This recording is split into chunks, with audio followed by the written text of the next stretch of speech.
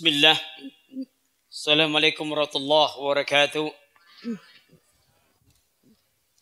إن الحمد لله نحمده ونستعين ونستغفر ونتوب إليه ونعوذ بالله من شرور أنفسنا ومن سيئة أعمالنا من يهده الله فلا مضل له ومن يضلل فلا هادي له أشهد أن لا إله إلا الله وحده لا شريك له وأشهد أن محمدا عبده ورسوله لا نبي بعد اللهم صل على محمد وعلى آله وصحبه وبارك وسلم.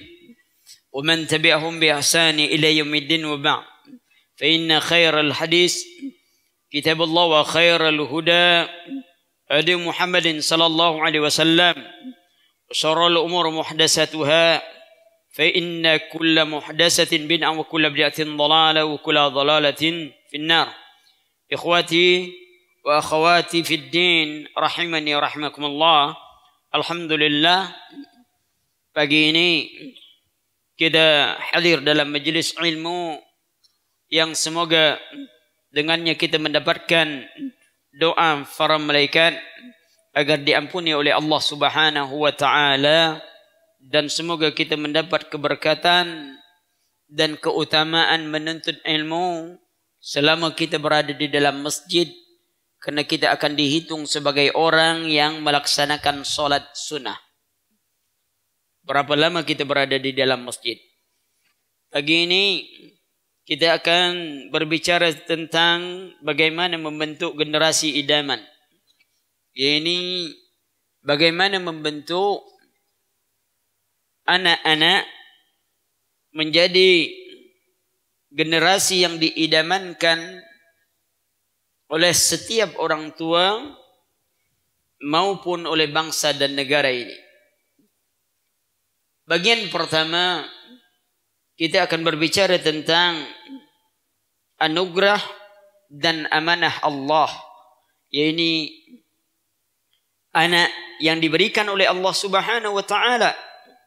Pertama mensyukuri nikmat akan anugerah anak dikarenakan anak dia akan menjadi qurratul a'yun. Sesuatu yang sedap dipandang mata tapi dari satu sisi anak-anak akan menjadikan ujian. Dia dijadikan amanah karena siapa yang memenuhi amanah ini maka dia akan mendapatkan ganjaran dari Allah Subhanahu wa taala yang berlipat ganda. Allah Subhanahu wa taala berbicara tentang anak di dalam Al-Qur'anul Karim dengan kata-kata walad atau ibnu atau tiflu itu sekitar uh, 116 ayat atau 116 kali di dalam Al-Qur'an disebutkan. Ya? Dan itu berada di dalam beberapa surat. Al-Quran juga berkisah tentang anak-anak. Ya? Allah Subhanahu wa taala berfirman kisah tentang Nabi Ismail alaihi salam. Rabbana inni askantu min zurriyyati biwadin kata Nabi Ibrahim alaihi salam. Ghairi zi zar'in inda baitikal muharram. Nabi Ibrahim berkata, Ya Rabb kami, Rabbana Inni askantu min zurriyati biwadin ghairi zi zar'in. Sesungguhnya aku telah menempatkan sebagian dari keturunanku. Maksudnya Nabi Ismail alaihissalam yang diantar oleh Nabi Ibrahim bersama ibunya di kota Mekah. Waktu itu belum ada macam sekarang ya. Pesawat pun belum ada masih jalan kaki. Ya. Di lembah yang tidak mempunyai tanam-tanaman ditinggalkan. Di dekat rumahmu baitullah yang dihormati. Kemudian Nabi Ibrahim liyuqimus salam. Ya. Dihormati ya kami agar mereka mendirikan salat waj'al af'idatan minan nasi maka jadikanlah hati sebagian manusia cenderung kepada tempat itu.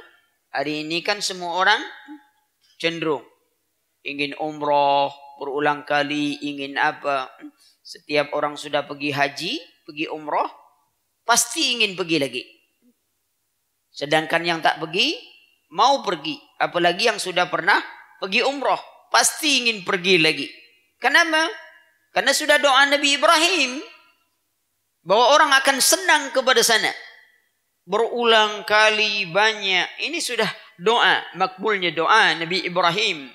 Maka jadikanlah hati manusia cenderung kepada mereka dan beri mereka rezeki. Ya, warzuqhum minas samarat. Beri mereka rezeki. Maka itu kita tengok buah-buahan di Mekah Madinah itu murah dan besar-besar. Mana sama buah apanya? Apa? Buah-buah mereka itu besar-besar semuanya dibanding kita ni. Mungkin kerana orang sana besar-besar kan? Ya? Kalau kita kan kecil-kecil tu. Semangka kita kan kecil-kecil tu. Macam orang kita juga yang kecil-kecil kan? Kalau semangka orang sana besar-besar. Ya? Ayamnya pun besar-besar. Ha? Kalau ayam kita kan kecil-kecil tu. Ha? Itu amanah. Kemudian apa arti penting anak? Ya? Pertama, Anak ini disebutkan oleh Allah Subhanahu wa taala di dalam surah Al-Isra ayat 6 ya adalah nikmat. Walakum fiha jamalun hina turihun ya turihun wa hina tasrahun. Kemudian kami berikan kepada kamu giliran ya, di ayat yang lain disebutkan Ya di ayat lain lain disebutkan oleh Allah Subhanahu wa taala ketika Allah mem memberikan nikmat anak itu yang besar. Ya, banyak anak yang diberikan Allah. Berapa banyaknya orang kalau ditanya sudah dapat anak belum dapat rezeki. Sudah ada anak belum dapat rezeki Ustaz. Berarti banyak anak banyak rezeki. Sebab kalau tak dapat anak dia bilang belum dapat rezeki. Banyak anak, banyak rezeki. Kenapa orang kaya anaknya sedikit? Orang miskin anaknya banyak. Kalimat kita salah. Orang miskin kaya anak. Orang kaya miskin anak. Itu bedanya. Jadi orang banyak orang banyak anak tapi hartanya tak ada. Sebenarnya dia kaya anak. Yang satu hartanya banyak, anaknya Sikit. Berarti dia miskin sebenarnya. Orang kaya tu miskin tu. Apa? Dia cuma kaya harta. Anaknya tak ada. Yang ini? Oh ini banyak anaknya. 20. Hartanya yang tak ada. Nah itu kan. Beda-beda. Nikmat. Yang kedua. Anak itu. Quratul a'yun. Wallazina yakulun. Ini di dalam surah Al-Furqan ayat 74. Ya. Kalau kita baca ayat 63 wa ibadur rahmanil ladzina yamshuna 'alal ardi hauna wa idza khatabahumul jahiluna qalu salama sampai kepada ayat walladzina yaqulu rabbana hab lana min azwajina wa zurriyyatina qurratul a'yun ya rabb kami doa mereka ya rabbana rabbana hab lana anugerahkanlah kepada kami min azwajina. Dari istri-istri kami wa zurriyatina. Anak-anak kami qurratul a'yun. Qurratul a'yun itu di atas cinta. Ini orang tua perlu tahu. Doa ibadur rahman. Mereka berdoa agar anak mereka itu menjadi qurratul a'yun ya ini sesuatu yang berada di atas cinta ha, Kenapa? Karena kalau cinta, sesuatu yang kita cintai belum tentu menyejukkan pandangan. Ada anak, kalau balik sekolah lambat terus. Bapaknya bilang, ngapa lambat balik sekolah? Anaknya bilang, sekolah saya jauh pak. Belikanlah motor. Akhirnya bapak sayang, ibu sayang, anak dibelikan motor. Setelah dapat motor, ternyata sekolahnya lebih jauh. Kemarin balik jam 6. Sekarang balik jam 8 malam. Kemarin alasannya sekolahnya jauh. Begitu dibeli motor, rupanya sekolahnya lebih jauh. Tidak menenangkan. Ah, tu bayangkan tu. Tak menenangkan. Ya, istri juga, apa juga tidak menenangkan kadang-kadang. Nah, maka itu yang kita doa. Ibadur Rahman dia berdoa agar anak istrinya itu menjadi kuratul ayun. Ha, menenangkan, sejuk hati, nengok muka anak tu senang. Karena ada sebagian orang tua, ya, tak merasa senang dengan anaknya. Anak nangis, bapaknya ngamuk. Bapak nangis, anak tak bisa nak ngamuk. Ha? Memang tak adil. Ha? Anak nangis, bapak ngamuk. Bapak nangis, anak tak boleh ngamuk. Ha? Tengok tu. Yang ketiga, anak itu adalah perhiasan. Berbangga-bangga zuyina linnasi hubus syahawat minan nisa wal banina wal qanati lil mukantara. Ya, wal qanatiril mukantara disebutkan ya minal fiddah yang semuanya ya. Dan dijadikan indah pada pandangan manusia itu kecintaan kepada apa-apa yang dia inginkan. Wanita-wanita istri-istri anak-anak harta perhiasan emas perak kuda pilihan binatang-binatang ternak. Tapi yang kita bicarakan anak-anak. Ya perhiasan semua orang bangga oh tengok anak saya yang satu anaknya sudah sarjana. Ya.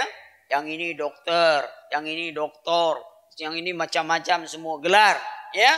Ha. Berbangga-bangga dengan anak karena dia ada hiasan. Ini tiga perkara yang penting ya bagi kedudukan anak. Apa kata Rasulullah? Al-mal wal banun zinatul hayatid dunya. Ya harta anak-anak adalah perhiasan kehidupan dunia. Wal baqiyatus salihatu khairun 'inda rabbika. Ya dan sesungguhnya amalan saleh itulah yang kekal di sisi Rabb kalian. Ya kemudian berikutnya waspada dengan fitnah anak ujian. Tadi tiga kita bicarakan. Ya? Anugerah anak-anak merupakan nikmat yang besar yang diberikan Allah. Dia menjadi quratul ayun. Sudah tu dia mu keperhiasan yang dibangga-banggakan. Berikutnya kita juga harus waspada dengan ujian anak. Ya? Ujian anak. Allah Subhanahu wa taala berfirman di dalam surah Taghabun ayat 14 Allah katakan Ya ayyuhallazina amanu inna min azwajikum wa auladikum aduwwan lakum. Wahai orang-orang yang beriman sesungguhnya di antara istri kalian dan anak-anak kalian ada yang menjadi musuh kalian Maksud musuhnya itu ya kadang-kadang menghalangi ingin taat ya. Kadang-kadang kita belajar ngaji sajalah. Anak tu jadi ujian. Pergi taklim bawa anak. Ya kan? Sedang duduk anak nangis. Ah, ha, tak konsentrasi lagi tu taklim tu. Anak aja yang dipikirkan, ya. Nah, Anak yang satu berkelahi, anak yang satu nangis, yang satu buang air. Itu kalau terlalu banyak bawa anak pergi taklim. Tentu tak jadi taklim. Ya? Maka ketika nak taklim itu, titipkan dulu anak. Atau ada tempat khusus, tempat anak-anak bermain. Macam ini, ini besarnya. Ada tempat khusus, buat tempat, tempat titipan khusus yang bawa anak. Cari orang untuk ngurus anak-anak di situ ada tempat mainnya anak-anak. Bayarlah. Apa sekali, apa salahnya kita nak pergi ngaji? Anak-anak ada yang tukang urus. Ha? Jadi ibu dan bapaknya tidak lagi Pening nak mikirkan anak. Ya? Ini anaknya hilang ke sana, yang satu belanja di sini, yang satu belanja di sana. Akhirnya tak ada pengajian. Ya? Sibuk. Jadi apa gunanya datang majlis taklim kalau yang seperti itu? Ya. Nah, yang kedua dia fitnah. Yang tadi dia jadi musuh. Ya, yang sekarang dia jadi ujian. Wa'lamu kata Allah, annama amwalukum wa auladukum fitnatun. Ini di dalam surah Al-Anfal ayat 28. Tadi At-Taghabu yang tadi adalah di dalam surah At-Taghabun ayat 14. Ya. Taghabun ayat 14. Kalau tak salah Taghabun surah 61 apa. Ya. Perhatikan. Ini ayat yang menyebutkan tentang fitnah dan ujian kepada kita orang-orang tua. Setelah itu kita perhatikan lagi tentang apa yang disebutkan oleh hadis-hadis Nabi maupun firman Allah Subhanahu wa taala. Keutamaan anak yang soleh dan solehah. Kenapa? Tadi kita tahu anak ujian fitnah. Bersamaan itu dia anugerah yang indah. Yang dibangga-banggakan. Apa ini? Lalu kita disuruh untuk menjaga amanah. Antu'addu amanah ila ahliha. Ya? Lalu kita disuruh menjaga amanah ini. Menjaga anak. Apa gunanya? Pertama, kita bicara tentang anak yang soleh. Sebab kalau anak kita jadi profesor, memangnya kalau anak kita profesor, azab kita dikurangi Allah. Waktu mau diazab, oh tunggu, anak saya profesor. Hah?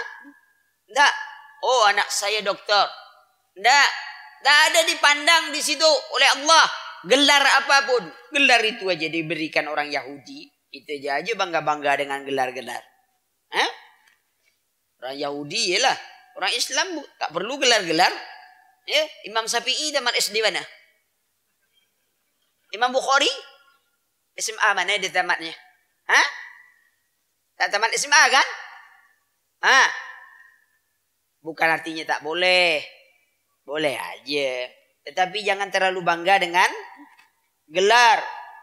Antum punya gelar profesor, doktor. Kumpulkan air ludah, masukkan dalam gelasnya. Ada tak yang nak minum? Tak ada. Sarang burung walet tu berapa banyak orang nak minum? Ha? Obat lagi kata orang. Cuba air lidah kita dimasuk minum. Bukan obat. Obat sakit perut. Artinya perut tu tambah sakit. Tak ada guna. Bangga begitu. Baik kita perhatikan firman Allah. Tentang keutamaan anak yang saleh dan salihah. Pertama. Anak adalah hasil usaha.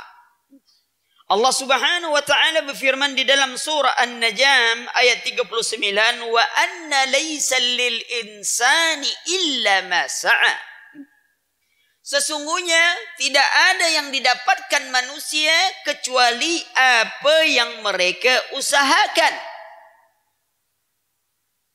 Berkata Nabi sallallahu alaihi wasallam dari al-mu'minin Aisyah radhiyallahu anha. Di mana Rasulullah sallallahu alaihi wasallam bersabda inna min atyabi ma akala ar-rajul min kasbihi wa waladun min kasbihi kata Rasulullah sallallahu alaihi wasallam sesungguhnya makanan yang paling baik dimakan oleh seseorang adalah orang yang makan dari hasil usahanya sendiri dan anak termasuk hasil usaha orang tua. Ya, ada orang mau punya anak tapi tak berusaha. Dah lima tahun berdoa minta anak yang soleh dan soleha belum dikabulkan Allah. Ditanya ngapa tak dikabulkan? Awaklah punya istri. Belum ustaz kata dia. Lah, belum punya istri ngapa minta anak? Kalau tidak dapat anak, minta istri dulu. Baru doa minta anak. Dia nak minta anak soleh dan soleha. Tanda berusaha cari istri. Berusaha dulu cari istri. Baru doa minta anak. Ah, robah doa. Minta istri yang soleha. Bukan istri soleh.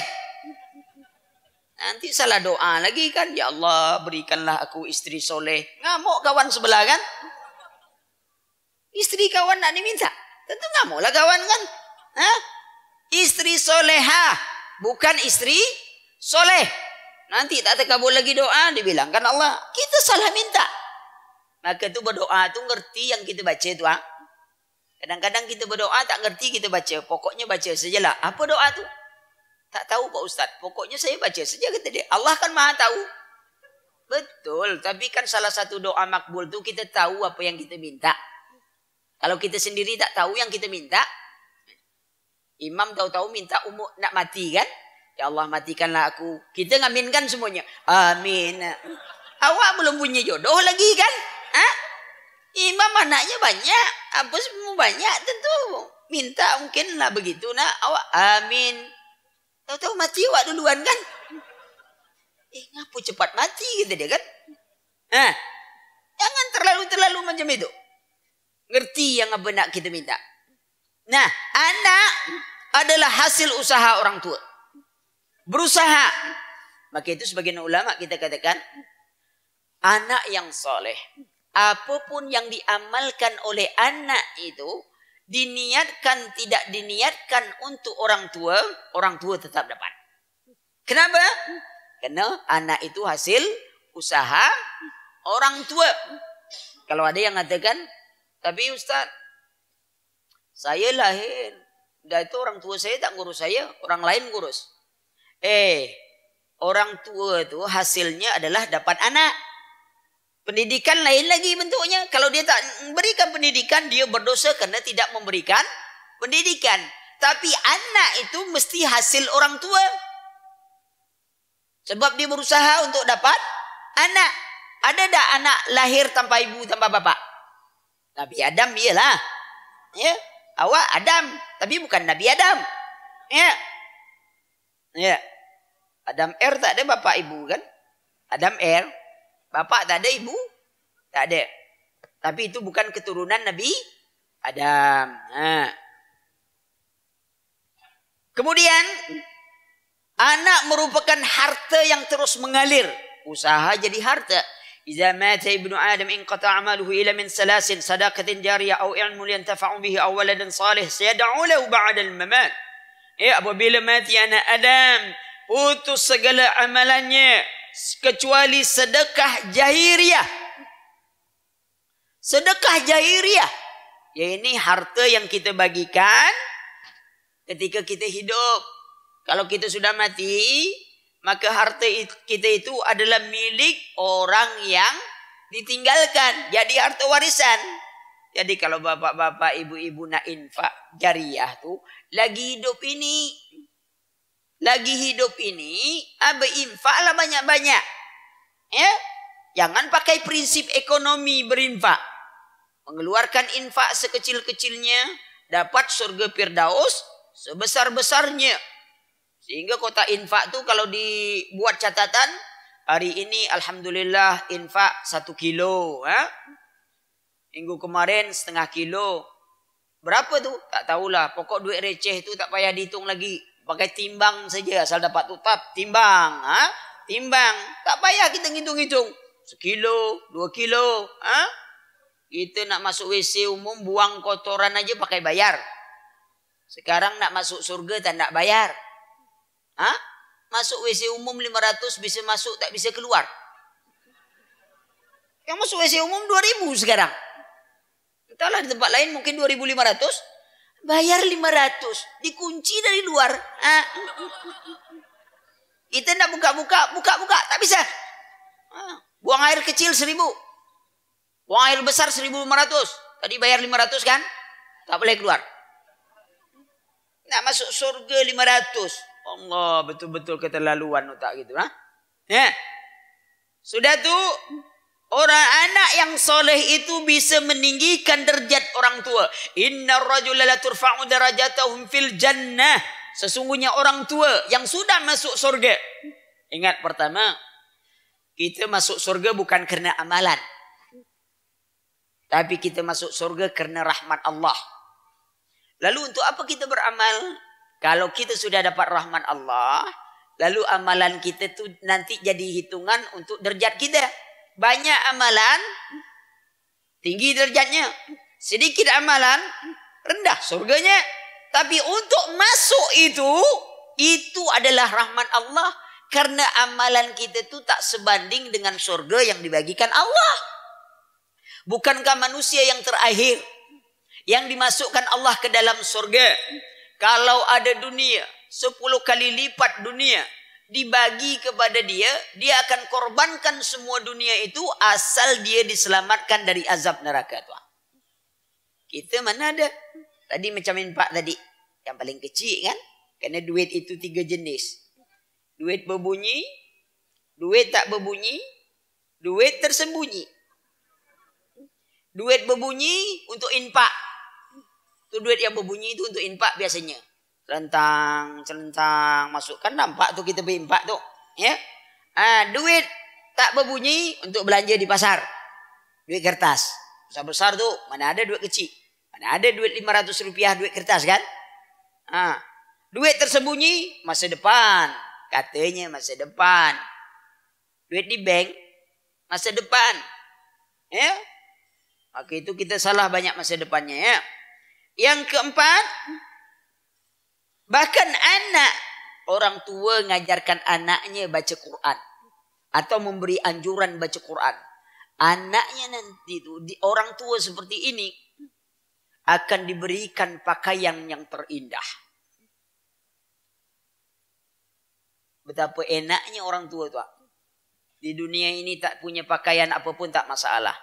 Didik anak dengan Quran. Dididik anak tu dengan Quran, besok Allah berikan mahkota atau diberikan pakaian yang terindah.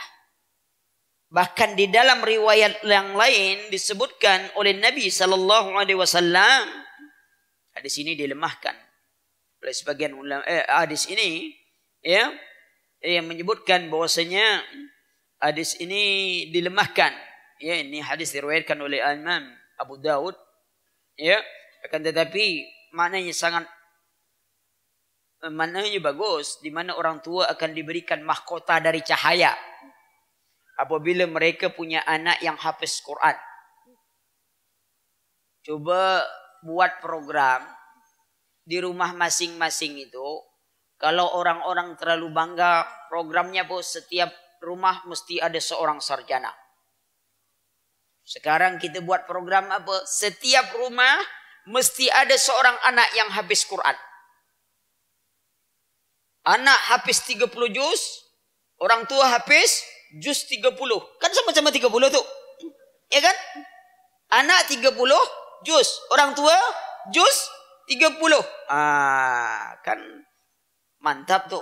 Ini orang habis semua Quran. Ah, harus buat program seperti itu di rumah agar kita dapatkan mahkota dari cahaya. Bahkan dalam hadis yang lain juga disebutkan ya bahwasanya anak-anak yang habis Quran itu bisa memberi syafaat kepada keluarganya. Tapi malah orang tua hari ini tak semangat dia. Kalau nak nyekolahkan anak tu, anak mana sekolah? Adalah kata dia. Ha. Mana ada yang sekolah? Sekolah adalah tak ada di mana pun nama sekolah. Ha? Tapi dia sebut nama sekolah adalah kata dia. Di mana sekolah adalah tu? Ha? Kita nanya-nanya. Sekali berbunyi, pondok. Ah, dia malu nyebut anak masuk pondok. Ah, Adalah. Apa itu? Pondok. Oh, kata kawannya tadi. Begitu dengar pondok, O-nya panjang. Oh, pondok. Panjang pondoknya. Siapa tu yang masuk pondok? Adalah. Adalah lagi tu. Apa? Siapa? Anak yang nakal. Ya? Yang EQ-nya rendah yang susah diatur, antar aja ke pondok. Sebab nanti kalau tak bisa diatur, kita senang nyalahkan ustaz. Sebab kita sudah ngantar ustaz untuk ngantar didik anak kita. Kita lah bayar. Tengok berapa banyak orang tua seperti itu. Padahal guru di sekolah itu berapa menit cuma ngajar, berapa jam.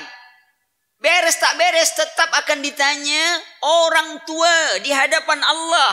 Guru itu cuma ditanya masalah program dia nak ngajar. Dilaksanakan atau tidak dengan baik. Namun tanggung jawab anak orang tua tak bisa dibayar-bayar. Memangnya kalau kita sudah bayar mahal ini, ini besok kita tak ditanya lagi oleh Allah. Atau kita, ya Allah, saya serahkan sudah di sekolah. Bayar. Ya, jadi ngapa saya ditanya? Tanyalah sama ustaz. Apa? Enggak. Orang tua yang ditanya. Karena itu pendidikan mereka ditanggung jawab, guru itu diminta tanggung jawab apa? Ustaz, guru diminta tanggung jawab. Kenapa? Karena dia sebagai orang pendidik, bukan sebagai orang tua. Kalau nak berhasil tuh, harus kerja sama. Kadang-kadang anak kita di rumah tak melawan. Sebab dia takut dengan bapaknya. Ada aja sepatu bapaknya di rumah tu tak berani anaknya berbunyi tu. Karena di rumah tu nengok sepatu sebab bapaknya sering melempar dengan sepatu. Nangis sedikit anak sepatu terbang. Mantap sepatu bapak kah? Bisa terbang. Begitu dia masuk sekolah, pondok, wah, nakal. Kenapa? Di sekolah tak ada sepatu bapaknya. Nah, cuba di sekolah ada sepatu bapaknya, tak akan berani dia buat gitu. Sebab sepatu itu bisa terbang sendiri kan? Nakal, lentang kepala. Ha? Nah, perhatikan. Kemudian anaknya itu juga bisa menghajikan orang tua. Tentu dia haji dulu ya. Ya, banyak amalan-amalan anak yang soleh. Kemudian yang lain lagi keutamaan anak soleh dan soleha. Ya, terutama tadi bersedekah atas nama orang tua bisa aja. Ini anak bersedekah atas nama orang tua boleh. Jangan cuman jangan disebut-sebut. Kita gini kan kadang-kadang ini saya infak 20 juta pahalanya untuk orang tua saya. Pertanyaannya, awak yakin infak awak tu diterima? Soal terima dan terima siapa yang menerima? Allah. Ngapa pula kita yang nentukan diterima? Sudah tu suruh pula malaikat ngirim. Kirim ke ke bapak saya. Apa pula tugas malaikat nak bawa bawa kiriman pahala kita? Ha? Kita boleh sebut aja ni saya berinfak atas nama orang tua. Selesai. Terima tak terima itu urusan Allah. Jangan pula kita nak ngatur-ngatur malaikat. Ini kirim ke sana, ini kirim ke situ. Eh? Kalau bisa dikirim, saya nak kirim dosa aja. Kenapa? Dosa saya banyak. Enak betul penjahat-penjahat tu. Kita kirim dosa kita sama penjahat semua ya. Dosa yang ini penjahat yang itu. Dosa ini penjahat yang itu. Ha? Apa pula dia tak kerja nak dapat pahala aja? Dapatlah dosa juga. Tak. Cuman anak yang soleh tadi, apapun amalannya, insya Allah orang tuanya tetap dapat. Ya. Ada pun doa, siapa saja anak pun bisa doa, muslim lain doakan saudara yang meninggalkan bisa. Tapi kalau kita nak berinfak, sebut saja atas nama orang tua kita. Soal nanti pahala tak pahala itu urusan Allah. Kan senang sebenarnya tuan.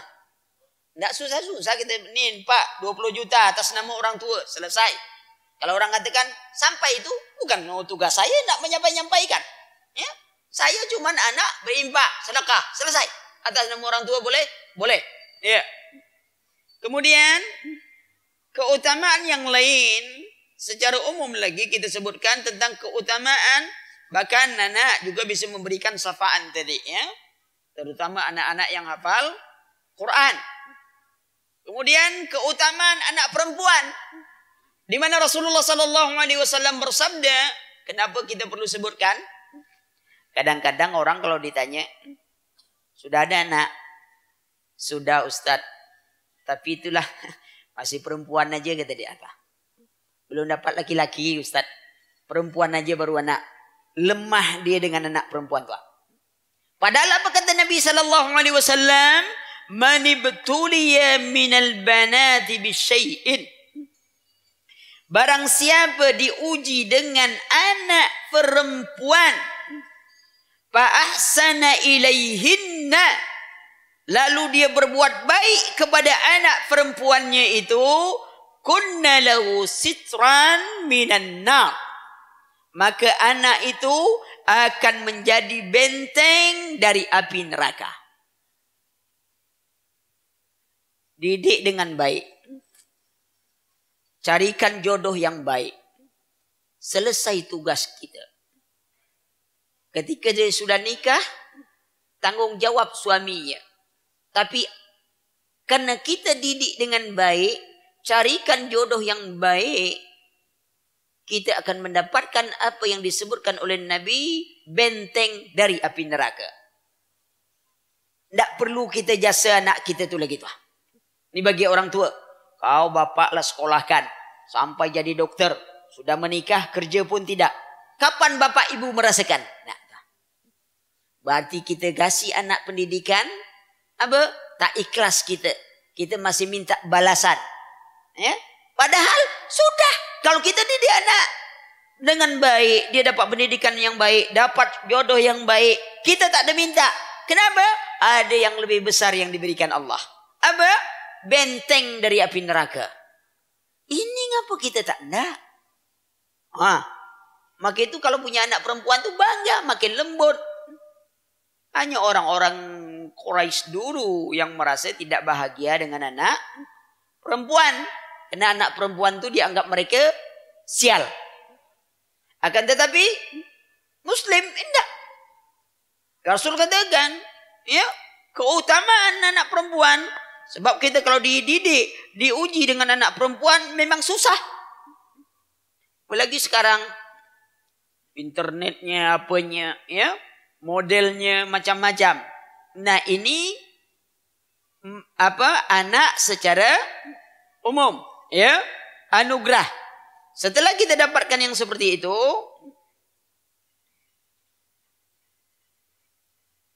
kita perhatikan lagi yang lainnya adalah karena kita bicara tentang generasi idaman. Ya. Maka yang dimaksud generasi idaman di sini adalah generasi atau remaja ya yang menjadi harapan kita masa depan kita. Menurut Imam Hasan Al-Basri yang dikatakan remaja itu mereka yang telah meninggalkan masa kanak-kanak Kemudian mereka wujud dalam ketergantungan ya dan menuju masa pembentukan tanggung jawab. Ini anak-anak tumbuh remaja goyang ya jiwanya ya goncang ya sudah mulai balik sampai usia 30 tahun ya sebagian mengatakan lagi masih usia mulai dewasa nanti 30 tahun sampai 40 tahun. Usia sampai 30 tahun ini usia goncang. Semua nak ditiru. Apa saja dapat dia nak nak ditiru. Nah, untuk itu sebelum kita bicara tentang bagaimana generasi idaman itu kita perlu mengetahui sifat-sifatnya. Sifat-sifat yang disebutkan oleh Nabi sallallahu alaihi wasallam dan disebutkan oleh Allah Subhanahu wa taala.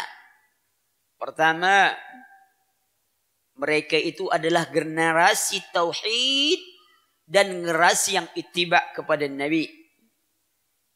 Yang kedua, mereka ini adalah generasi ilmu dan amal. Yang ketiga, mereka adalah generasi penuh semangat perjuangan tapi bukan teroris. Ya. Ada orang berjuang tapi berjuang ingin jadi teroris. Coba bayangkan. Bunuh diri aja boleh atau tidak? Bunuh diri kita aja tak boleh. Duduk menung-menung, ambil pisau. Ah, tak ada kerjaan, bunuh diri aja lah. Bunuh diri. Berdosa tak tu? Dosa. Sekarang kita bunuh orang lain. Banyak dosanya? Banyak dosa. Siapa yang bunuh diri dengan panah, besok diazab dengan panah. Siapa yang bunuh diri terjun dari gunung, besok diazab terjun dari gunung. Siapa bunuh diri dengan bom? Ah, meledak-meledak lah besok tu. Ha? Eh? Ngebom-ngebom lah kerja. Ha? Meledak, sebentar meledak. Sampai habis dosa. Ah, belum lagi orang lain pula. Kita pula nanggungnya. Ya? Masa dia bilang kalau mati langsung masuk surga? Enak betul orang. Ya? Masa bunuh diri masuk surga? Ya? Kalau gitu bunuh diri aja semua orang masuk surga. Ya? Tak ada ganggu orang, tak ada ini bunuh diri, tak ada pekerjaan lain. Ya? Ngapal payah, ini payah, belajar tak naik kelas. Ya? Tak. Itu was-was syaitan. Ya? Kemudian mereka generasi yang setia dan generasi pertengahan. Mari kita perhatikan dalil-dalilnya. Ya. Pertama, generasi iman dan takwa. Ya. Allah Subhanahu wa taala berfirman, "Am hasibta anna ashabal kahfi war rakim kanu min ayatina ajaba?" Surah Al-Kahfi ayat 9. Ataukah kamu mengira bahwasanya orang-orang yang mendiami gua anna ashabal kahfi ya warrakim dan anjing yang mengikutinya mereka itu termasuk tanda kekuasaan kami yang mengherankan. Ini kisah tentang pemuda-pemuda yang menyelamatkan akidah ya di tengah orang-orang yang akidahnya rusak. Is awal fityatu ilal kahfi faqalu Rabbana atina min ladunka rahmah wa hayyi lana min amrina rasyada. Apa kata mereka? Ingatlah tatkala pemuda. Kalau tadi ayat 9, ayat 10-nya mereka kata is awal fityatu ilal kahfi. Ingatlah ketika para pemuda itu mencari tempat perlindungan begitu, ilal kahfi faqalu. Lalu mereka berdoa, Rabbana. Ha, tu ah. Tengok lingkungan ashabul kahfi tu ah. Orang yang musyrik. Orang yang ini. Mereka ingin menyelamatkan. Kenapa? Mereka tidak bisa menampakkan keislamannya. Mereka tidak bisa mentaati Allah. Kalau mereka berkumpul di tengah kaum itu, mereka akan dipaksa oleh rajanya untuk murtad, untuk mengibadati selain Allah. Mereka pergi mengasingkan diri ke gua. Hanya mempertahankan agamanya, mempertahankan tauhidnya. Sekarang tengok anak-anak muda sekarang. Kalian mau mengamalkan tauhid, tak ada yang melarang. Belajar Islam, tak ada yang melarang. Sekolah di mana-mana bisa, tak ada yang melarang. Ya? Kalau ashabul kafi mempertahankan apanya? Tauhidnya pergi ke gua-gua. Anak muda sekarang bukan mempertahankan tauhidnya. Guanya lain. Internet. Ha? Di kotak-kotak internet. Ah, bukan mempertahankan tauhid, menggadaikan tauhidnya. Bayangkan duduk berjam-jam main game.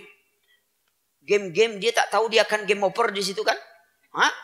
Setengah main game, game over, dia pun over juga terkelepar di situ. Ah. Baru tahu. Hah? Terlalu banyak main game. Hah? Akhirnya game over sendiri besok. Tengok anak-anak gini. Semuanya Kadang-kadang sedang sekolah pun ha, masih sempat main game juga tuh. Bayangkan tuh, itu dicatat semua oleh malaikat. Ha? Ashabul Kahfi tidak. Anak-anak muda Ashabul Kahfi mereka justru berdoa meminta agar dirahmati oleh Allah Subhanahu wa taala. Ha? Maka itu Allah katakan fadarabna ala azanihim fil kafi sinina adada. Summa ba'asnahum lina'lama ayyul hisbaini ahsa lima labisu amada. Ha? Maka kami tutup telinga mereka beberapa tahun dalam gua.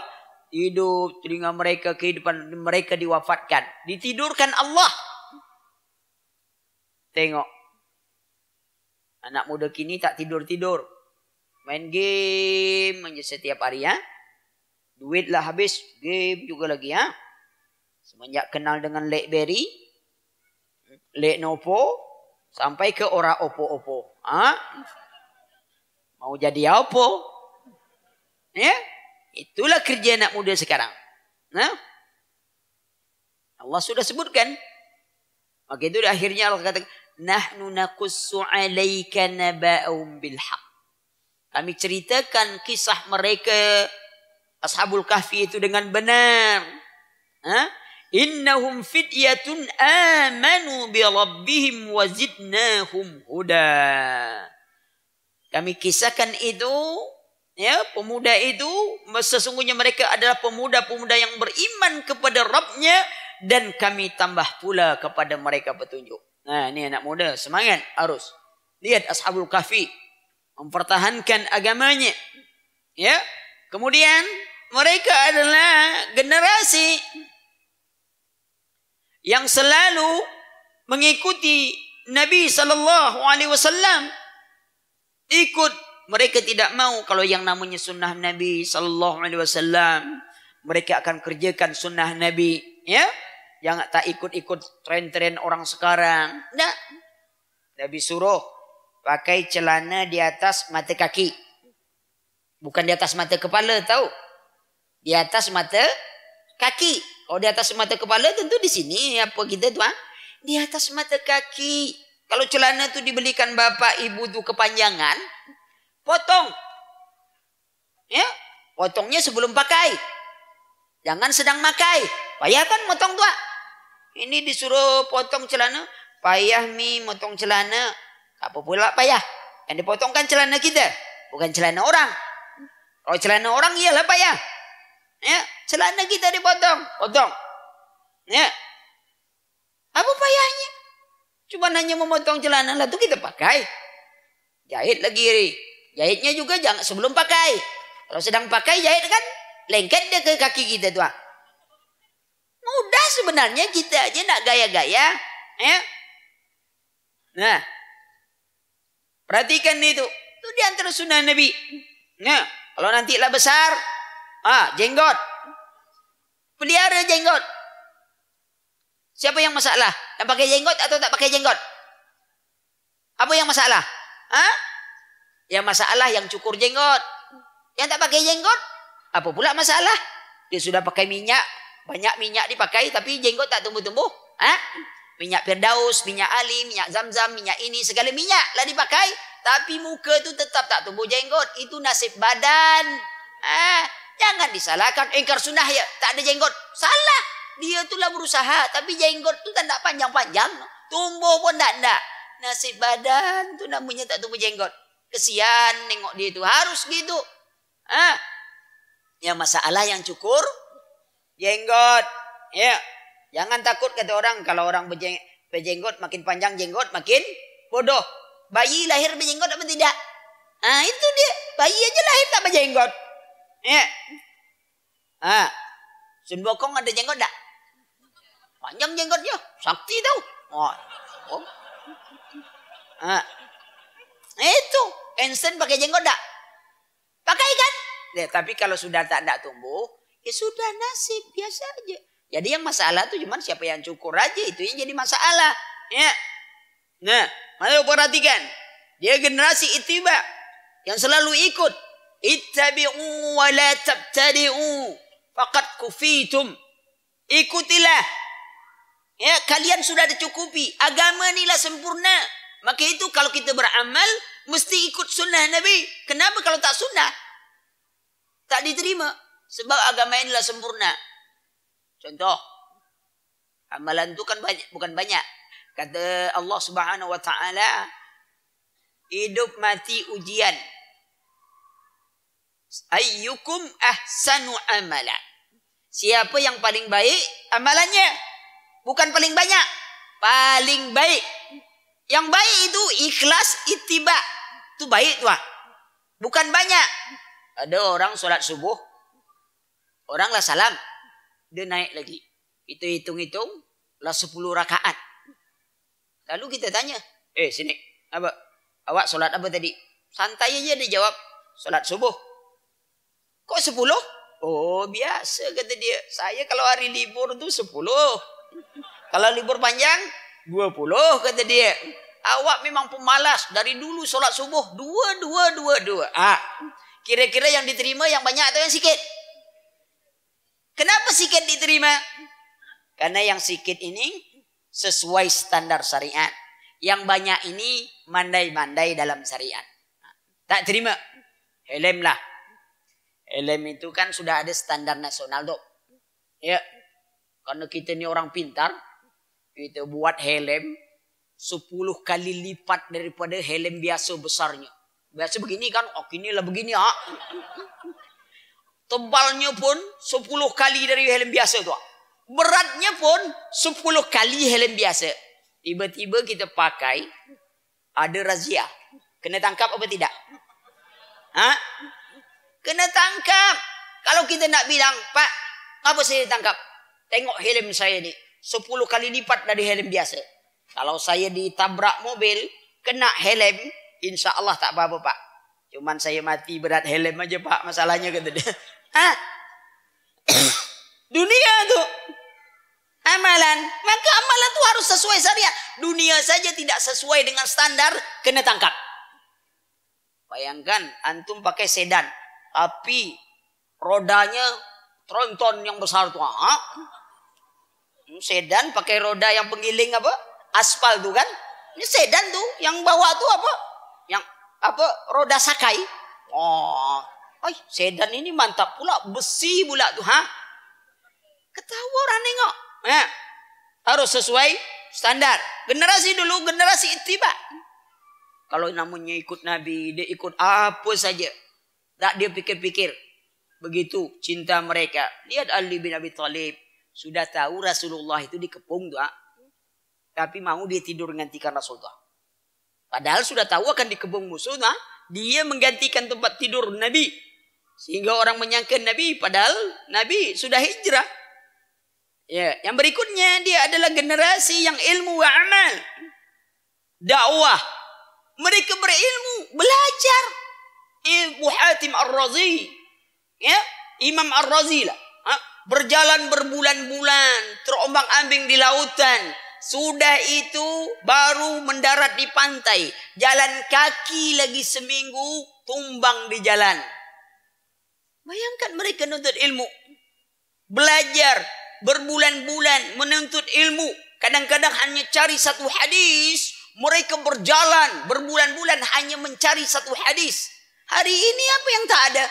Senang. Ya, di mana-mana antum tak pergi majlis ilmu, ya, minta CD saja. Ya, sebab ilmu sekarang berbeda dengan zaman dulu. Kalau dulu al ilmu pis sudur, kalau kini al ilmu pis CD. Hebat orang kini. Tak ikut ngaji, cuman minta CD. Ya kalau CD masih di sini. Kalau CD lah balik ke Pariaman,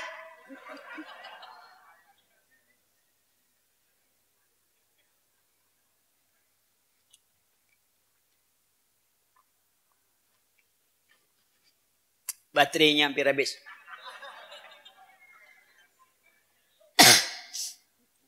Perhatikan itu. Semangat untuk ilmu. Maka kita dapatkan para ulama itu. Tak ada waktunya. Si, tak sayang dulu ya. Si Albani saja ikhwan. Si Albani itu ha, tidurnya dua jam cuma.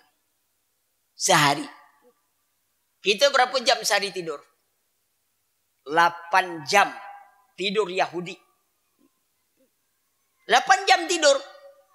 Sudah tu di majlis taklim 2 jam, 10 jam. Bayangkan tu. Sebab majlis taklim ini tempat tidur paling nikmat di dunia. Kalau ada orang penyakit susah tidur, berobat di Jepang, di Cina, Amerika, semana-mana tempat, dukun semua dukun lah datang, tapi susah tidur, jangan takut. Bawa majlis taklim. Ustaz dengan mantranya amma ba'du langsung tuh. Sempat melukis pula tuh ha? bayangkan tuh sempat pula melukis tuh ha? dalam tidur tadi ha? ngangguk semuanya. Ustaz lah habis-habis begitu baca penutup majelis baru bangun. Eh, sudah ngaji kata dia. Sebentar betul kata dia. Kita lah dua kali es berganti tuh ha? Ngaji? Ah, dia bilang sebentar ngaji bayangkan. Ah, tu majelis taklim tu. Bayangkan berapa? Kalau antum umur 30 tahun, antum tidurlah 10 tahun. Tak puas-puas juga tidur. Insya Allah. Besok Allah kasih tidur panjang. Tanpa diminta. Walaupun trompet tahun baru berbunyi, tetap tak bangun. Kecuali trompet hidup baru. Sangka kala berbunyi, baru untuk bangun. Eh? Tengok. Terasi ilmu. Olahraga boleh, tapi jangan berlebihan. Nah, bapak, ibu, anak, semuanya terlalu berlebihan. Olahraga. Pagi maraton, tengah hari futsal, sore sepak bola, malam habis maghrib tenis meja, habis is, isa badminton, mati tabrak mobil. Tengok, terlalu habis waktu untuk sesuatu yang seperti itu. Ha? Apalagi santri, siswa, tak berhenti nak main bola saja. Ha? Memangnya Syekh Usaimin, Syekh Albani, Syekh bin Bas. Ha? Umurnya Syekh Albani berapa umur? 90 tahun. Syekh bin Bas 85 tahun. Syekh Usaimin 80-an tahun. Sampai itu usia beliau. Hafalannya tak hilang. Memangnya beliau main futsal setiap hari apa? Ha? Tak ada. Main sepeda keliling-keliling. Hah? Enggak. Umur sampai begitu. Kita yang olahraga tiap hari, begitu cermin, lupa muka. Eh, siapa pula dalam kamar ni? Ya kenalah hitam betul kan lah sebulan tak bercermin. Awaklah putih kena terlalu banyak main di panas, hitam. Tentu bercermin tu lupa. Eh ini orang mana pula ni kata dia kan? Ah, lupa. Ah, tengok tu kita olahragaan banyak. Taklim begitu juga. Lah penat ustaz tu taklim ngajar tu ha? Pak, lah berapa hafalan? Hadis arba'in lah dulu. Empat sudah ustaz. Minggu depan tambah satu. Begitu minggu depan ditanya, Pak, sudah nambah? Enggak ustaz, kurang. Kok jadi kurang? Kemarin empat. Nambah satu? Kurang ustaz. Kenapa? Lah tua ustaz. Jadi otak saya tu lah tak sanggup lagi ngapal kata dia. Jadi berkurang. Bapak kerja apa? Oh saya pedagang Ustaz. Pedagang? Iya. Kontan apa kredit? Oh kredit Ustaz. Berapa orang ngambil Pak? Adalah 100 orang. Namanya apal tak? Apal Ustaz kata dia. Nomor HP-nya apal juga. Angsurannya apal. Wallah betul-betul kelewatan. Ha? Hadis satu tak apal. Eh, payah otak. Utang orang 100 orang hafal. Dengan nomor HP sekalian. Ha? Jadi yang rusaknya apa sebenarnya? Otaknya yang rusak atau semangat? Semangatnya yang rusak. Otaknya baik saja. Ha? Ah, tu maka tu yang bapak-bapak, ya. Yang anak-anak lain pula model. Baru sekali baca, dua kali baca tak masuk-masuk, lempar buku. Memangnya kalau buku tu kau lempar, kau jadi hafal apa tidak? Tidak juga kan? Kenapa tak baca banyak-banyak? Sedangkan sepuluh kali baca aja belum tentu hafal. Kalau begitu, kenapa kau lempar buku tu? Baca banyak-banyak, nanti hafal dua. Kalau dilempar tak jadi hafal, ya, apalagi buku dibakar jadikan air kopi, minum. Masuk katanya kau tak? Betul. Yang masuk tu ampas tadi dalam kita. Ha? Kalau disuruh ngapal pelajaran, saya sudah hafal, Pak. Betul, yakin. Semua di luar kepala. Cuba baca. Tak tahu, Pak. Kenapa? Kan di luar kepala kata dia. Kalau di dalam kepala bisalah dikeluarkan. Ini di luar kepala pak kata dia. Ha. Tak kena pula guru dibuat. Ha. Ha. Ilmu. Belajar ilmu. Ya. Generasi ilmu. Tentu ilmu itu bukan ilmu umum itu boleh. Tapi ingat. Ilmu yang utama itu ilmu agama. Besok dia ditanya dalam kubur tu rumus matematika dah. Hmm. Ya. Tapi kita perlu belajar. Kalau kita tak tahu belajar matematika, besok kita dibodohi orang. Ya. Belajar kita. Semangat untuk apa? Kita bergaul manusia. Belajar bahasa Inggris semangat. Belajar bahasa Arab malas. Bahasa yang lain tulisan, lain bacaan. One tulisan. Bacaannya apa? Wan. One. Apa arti one itu? Hah? One orang Pariaman apa artinya? Hah? Mak kan? Mak tulisan. Wan bacaan. Wan tu apa bahasa awak sana? Hah? Abang. Abang. Orang kita Pariaman kan bilang wan tu abang. One tu mak. Mak tulisan abang bacaan. Belajar kita sungguh-sungguh tu. Ya? Bahasa Arab apa ditulis itu dibaca. Tanda belajar dah. Ya? Nah. Oh, Ustaz besok di surga kan? Bahasa Arab juga Ustaz. Kita tanya, awak yakin masuk surga? Gaya macam masuk surga pula lagi. Eh? Di surga bahasa Arab Ustaz kata dia. Masuk surga awak apa? Siapa yang jamin awak masuk surga? Ha? Maka fikir-fikir. Belum tentu masuk surga. Gayalah pandai bahasa Arab semuanya. Hmm? Arab Melayu. Satu Arab Nangdi. Satu Arab Maklum. Kalau tak paham. Arab juga namanya. Ha? Nah. Sudah itu mereka. Amalan mereka. Amal. Ya, setiap ilmu mesti diamalkan. Ya. Kemudian tadi itu sifat generasi idaman, generasi tauhid, ittiba, kemudian ngasih ilmu, kemudian mereka pejuang. Lihat perang Badar, anak muda umur 15 tahun nanya kepada Abdurrahman bin Auf. Paman, Abu Jahal tuh yang mana kata dia? Umurnya baru kecil tuh, 15 tahun. Ada apa engkau dengan Abu Jahal? Aku ingin memerangi dia karena dia menghina Nabi. Umur kecil, Akhirnya mereka ikut juga perang. Dan mereka berhasil membunuh Abu Jahal. Umur baru 15 tahun. Hah? Lihat dulu. Mereka berjuang berani umur kecil. Untuk ilmu lihat Imam Bukhari.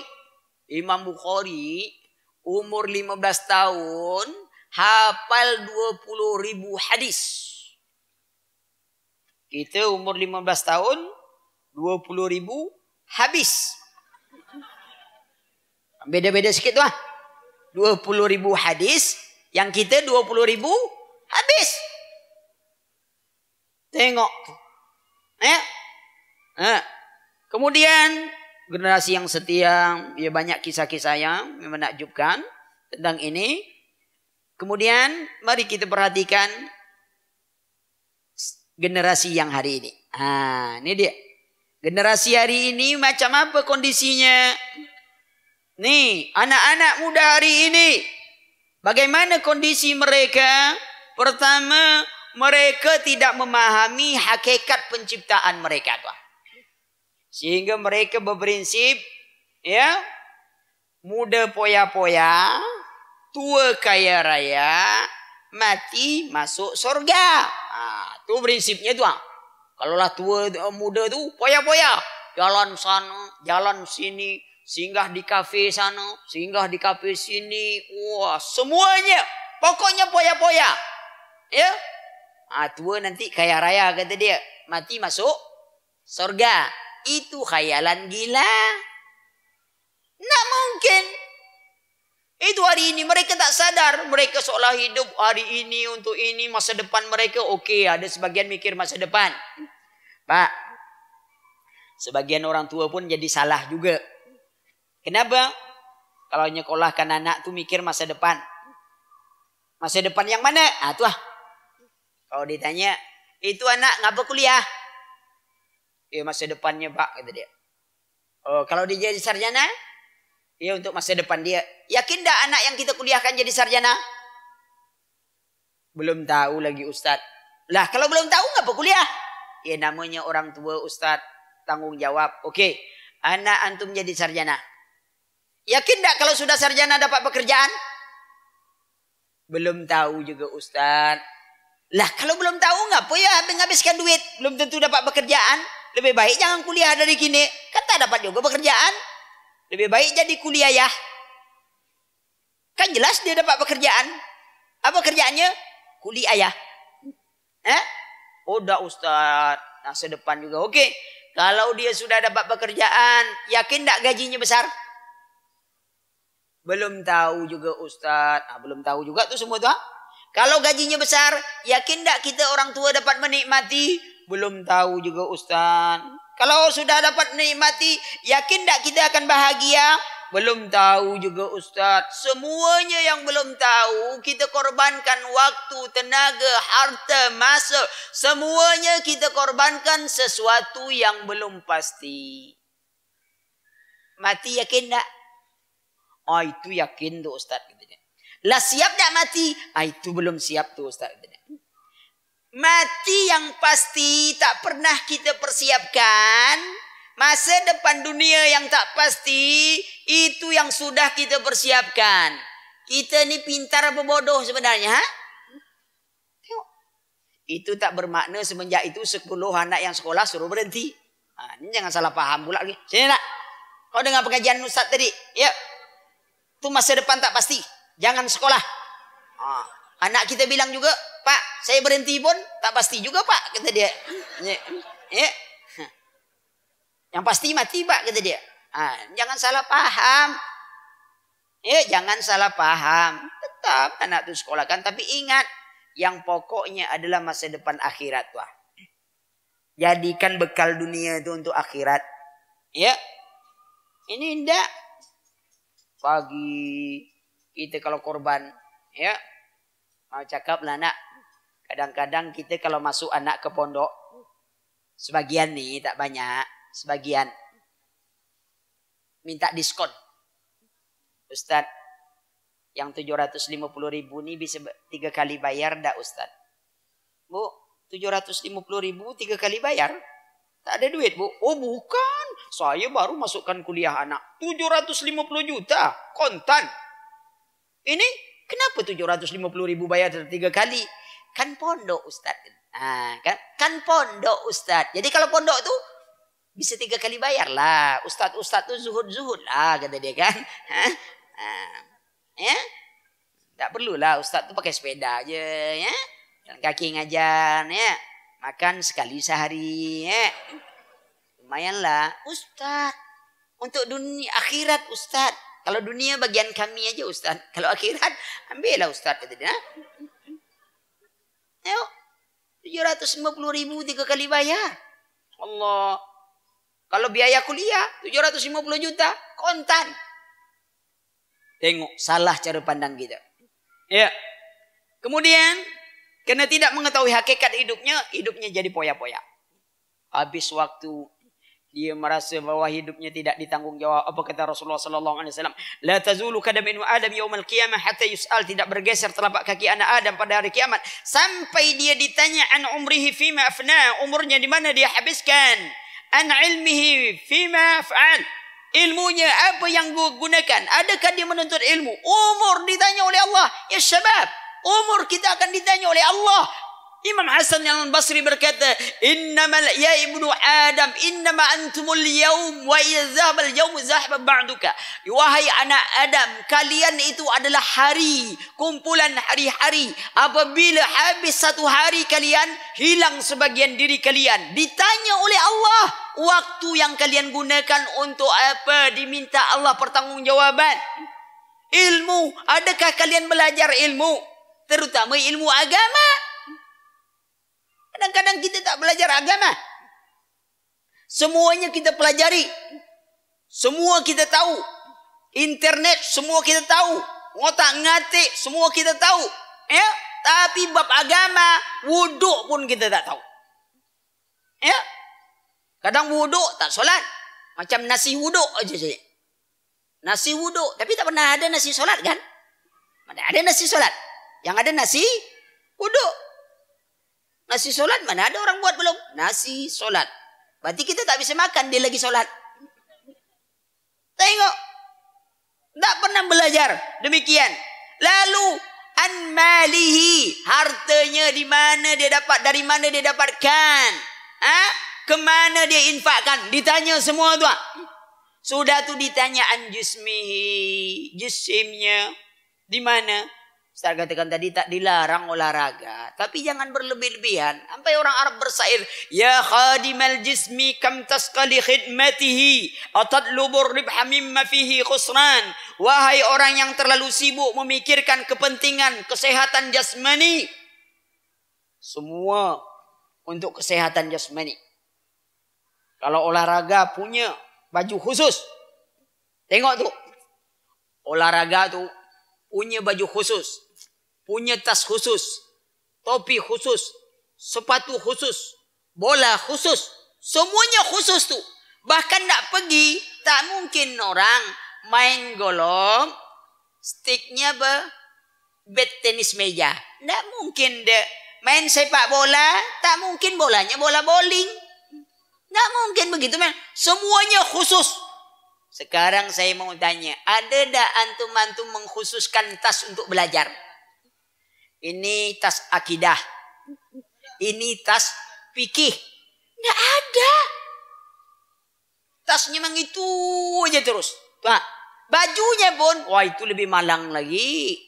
Baju itu kalau campakkan ke sungai mati kan? Ha.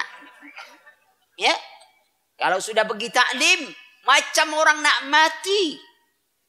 Eh, kenapa kau awak taklim macam itu? Ustaz, ada pepatah mengatakan Ustaz beramallah untuk duniamu seakan-akan kau hidup seribu tahun.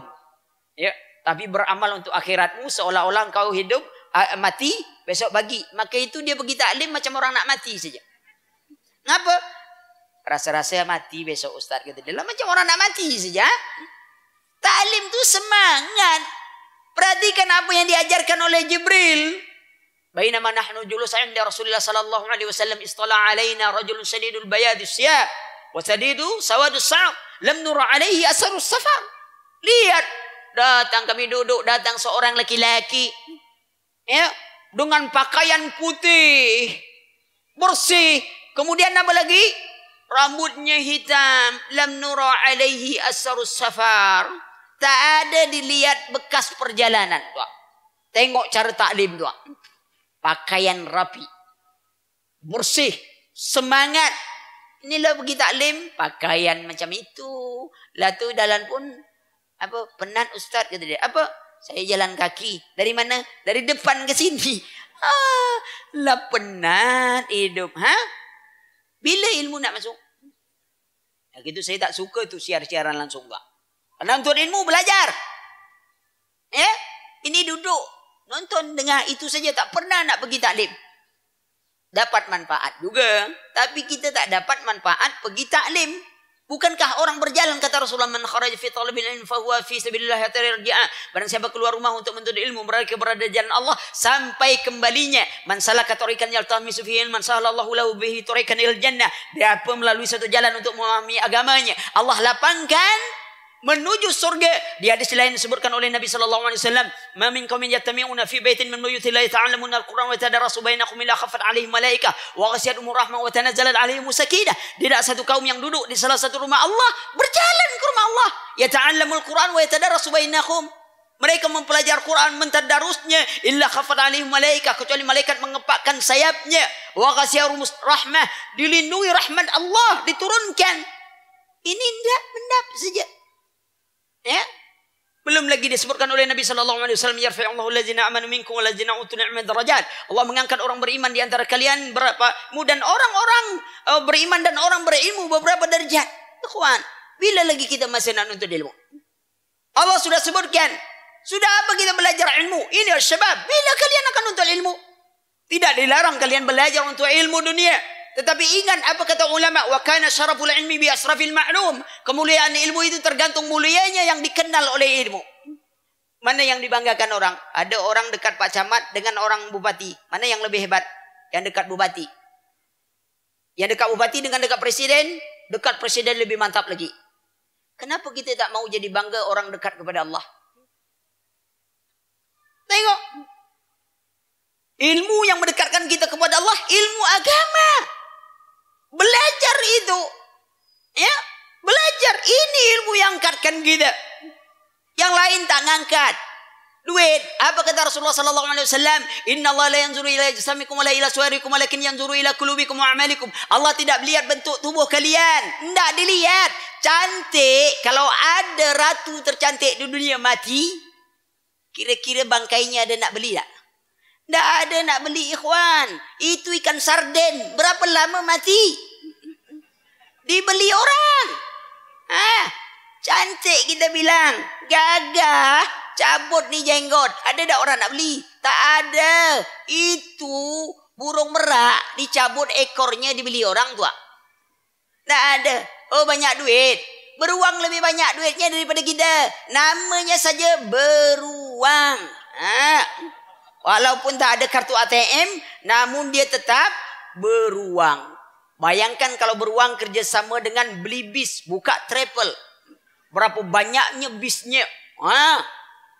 Takkan menipu orang lagi dia dah. Beruang. Tokenya apa? Luak. Awak nelan kopi. Luak nelan kopi. Kopi siapa sama-sama keluar kopi. Kopi mana dibeli orang? Kopi awak atau kopi luak? Kopi luak. Jadi tak guna kita nak bangga-bangga ilmu pangkat ini. Tak ada guna. Air ludah kita dikumpulkan. Profesor Dr. Ali Ahmad DLL. Tapi air ludahnya tak ada orang nak beli. Air liur burung walet 20 juta sekilo. Ah, tak ada kita guna nak bangga seperti itu. Ya? Maka itu apa yang membanggakan kita? Ilmu. Ilmu apa itu? Ilmu agama. Ya? Tak ada bicara seperti itu kecuali ilmu agama. Fa'alam annahu la ilaha illallah. Berilmulah kalian kepada makna la ilaha illallah. Banyak ayat-ayat mengenai iqra. Baca. Usru ma uhiya ilaika minal kitab. Baca telaah olehmu daripada Alkitab. Apa kitab itu? Zalikal kitab la raiba fihi udalil muttaqin. Itulah kitab yang tidak ada keraguan di dalamnya. Tapi apa kenyataan hari ini? Kalau lah belajar agama, loyo semuanya. Tak ada semangat. Ya? Kalau ngapal lagu, Oi, hafal. Lagu India, hafal. Tak apa-apa isi dalam tu. Ah, hafal dia tu. Kalau yang lain, tidak ada ngapal. Semangatnya lain. Semangat ini ilmu kita. Dengan ilmu agama baru kita bisa melaksanakan ibadah. Bukankah Allah sudah ciptakan kita sebaik bentuk laqad khalaqnal insana fi ahsani taqwim? Kami ciptakan manusia dalam sebaik bentuk wa ja'alna lakum sam'a wal absar wa fidah. Kami berikan kepada mereka pendengaran, penglihatan dan hati agar kita bisa mengibadati Allah.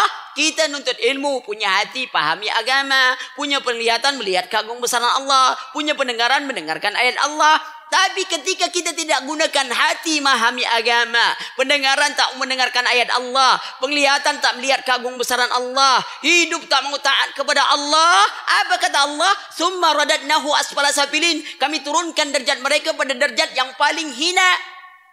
Dihinakan Allah sejauh mana hinanya. Allah sebutkan wal al jahannam katsiran minal jinni wal ins. Lahum qulubun la yafqahuna biha wa lahum a'yunun la yabsiruna biha wa lahum adhanun la yasma'una biha. Ulaika kal an'am bal hum ghafilun. Kami penuhkan isi neraka jahannam dari golongan jin dan manusia. Mereka punya hati tidak memahami ayat Allah. Mereka punya pendengaran tidak mendengar ayat Allah. Mereka punya penglihatan tidak melihat keagung kebesaran Allah. Ulaika kal an'am mereka seperti binatang. Bahkan mereka lebih hina dari seekor binatang yang paling hina. Kita mau masuk yang mana kita dimuliakan oleh agama kita. Ya sebab seluruh kita orang tua kita dimuliakan oleh agama kita. Satu ketika Umar bin Khattab menjemput kunci Damaskus. Tiba giliran beliau masuk. Masuk daerah Damaskus megang apa? Kuda. Anak buahnya di atas. Khalifah megang. Lalu ditanya oleh Panglima Perang Abdullah bin Jarrah. Wahai khalifah, macam apa keadaan kalau dilihat oleh pembesar Romawi? Apa kata Umar bin Khattab radhiyallahu an? Ada apa urusan saya dengan mereka? Nahnu kaumun azzana Allah bil Islam wa may yabtaghi izzata bi ghairi Islam ajallallah. Kita kaum dimuliakan oleh Islam. Barang siapa mencari kemuliaan bukan dengan mengamalkan Islam, Allah hinakan mereka. Pangkat, jabatan, kedudukan, bukan dengan Islam kita cari tak. Allah hinakan. Lihat umat Islam hari ini. Cari kemuliaan dengan apa? Bukan dengan Islam. Cari kemuliaan dengan harta. memburu harta dari pagi, sore, malam, semuanya harta yang diburu. Kadang-kadang tidak peduli halal dan haram. Padahal Rasulullah sallallahu alaihi wasallam bersabda, "Idza tabaya'tum bil ina wa akhadhtum aznab al baqa wa raditu bil zar'i wa taraktum al jihad fi sabilillah, sallallahu alaikum zulla la tanzi'u hatta tarji'u ila dinikum." Apabila kalian berjual beli secara ina wa akhadhtum aznab al bakar dan kalian bisa menarik ekor sapi wa raditu bil zar'i, kalian lebih redo kepada pertanian Wattaraktumul jihad fi sabilillah. Kalian tinggalkan berjuang di jalan Allah. Sallallahu alaikum zulla. Allah timpakan kepada kalian kehinaan. Dan Allah tidak cabut kehinaan. Kecuali kalian kembali kepada agama kalian. Tengok. Ini resiko kita ikhwan. Resiko orang tua. Resiko generasi. Yang menjauhkan diri daripada ilmu. Ya, ini keadaan kita semuanya. Kemudian kita perhatikan lagi mereka generasi ilmu dan amal. Eh sepinya amalan mereka generasi-generasi keadaan generasi yang hari ini. Ya, mereka tidak tahu sudah itu uh, kondisi mereka sudah itu melalaikan solat. Lalai Allah Subhanahu wa taala uh, telah menyebutkan keadaan mereka ya bahwa akan datang suatu masa nanti kata Allah ya golongan-golongan ya ini fahalaba min ba'di min ba'dihim halfun adaa'us salah ha? Wattaba'u syahwat fasawya yalqawna ghayya. Disebutkan oleh Allah di dalam surah di dalam surah Maryam ayat 59 ya. Kemudian datanglah generasi-generasi yang jelek. Generasi yang melalaikan salat dan mengikuti hawa nafsu. Hari ini tengok generasi muda hari ini. Kalau lah main game tu, ha, semua lupa tu. Ha. Kadang kita nak nanya nama dia pun lupa dia. Eh, siapa nama?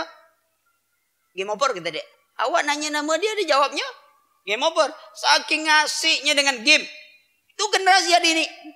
Lalai solat. Kalau solat sudah dilalaikan, tidak dikerjakan, maka kemaksiatan lain akan lebih mudah. Dia kerjakan. Maka itu orang tua juga harus perhatikan. Solat. Tapi jangan salah paham juga ya. Kadang-kadang kita ini semangat nak ngajar anak untuk solat. Tapi kita salah cara ngajar.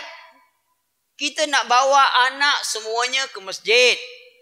Tapi kita tak nak jaga anak di masjid. Bawa letak anak di tengah. Baru tegak lari pula anak. Ah, kadang bapaknya tinggalkan anak di belakang. Orang sibuk meneliti anaknya.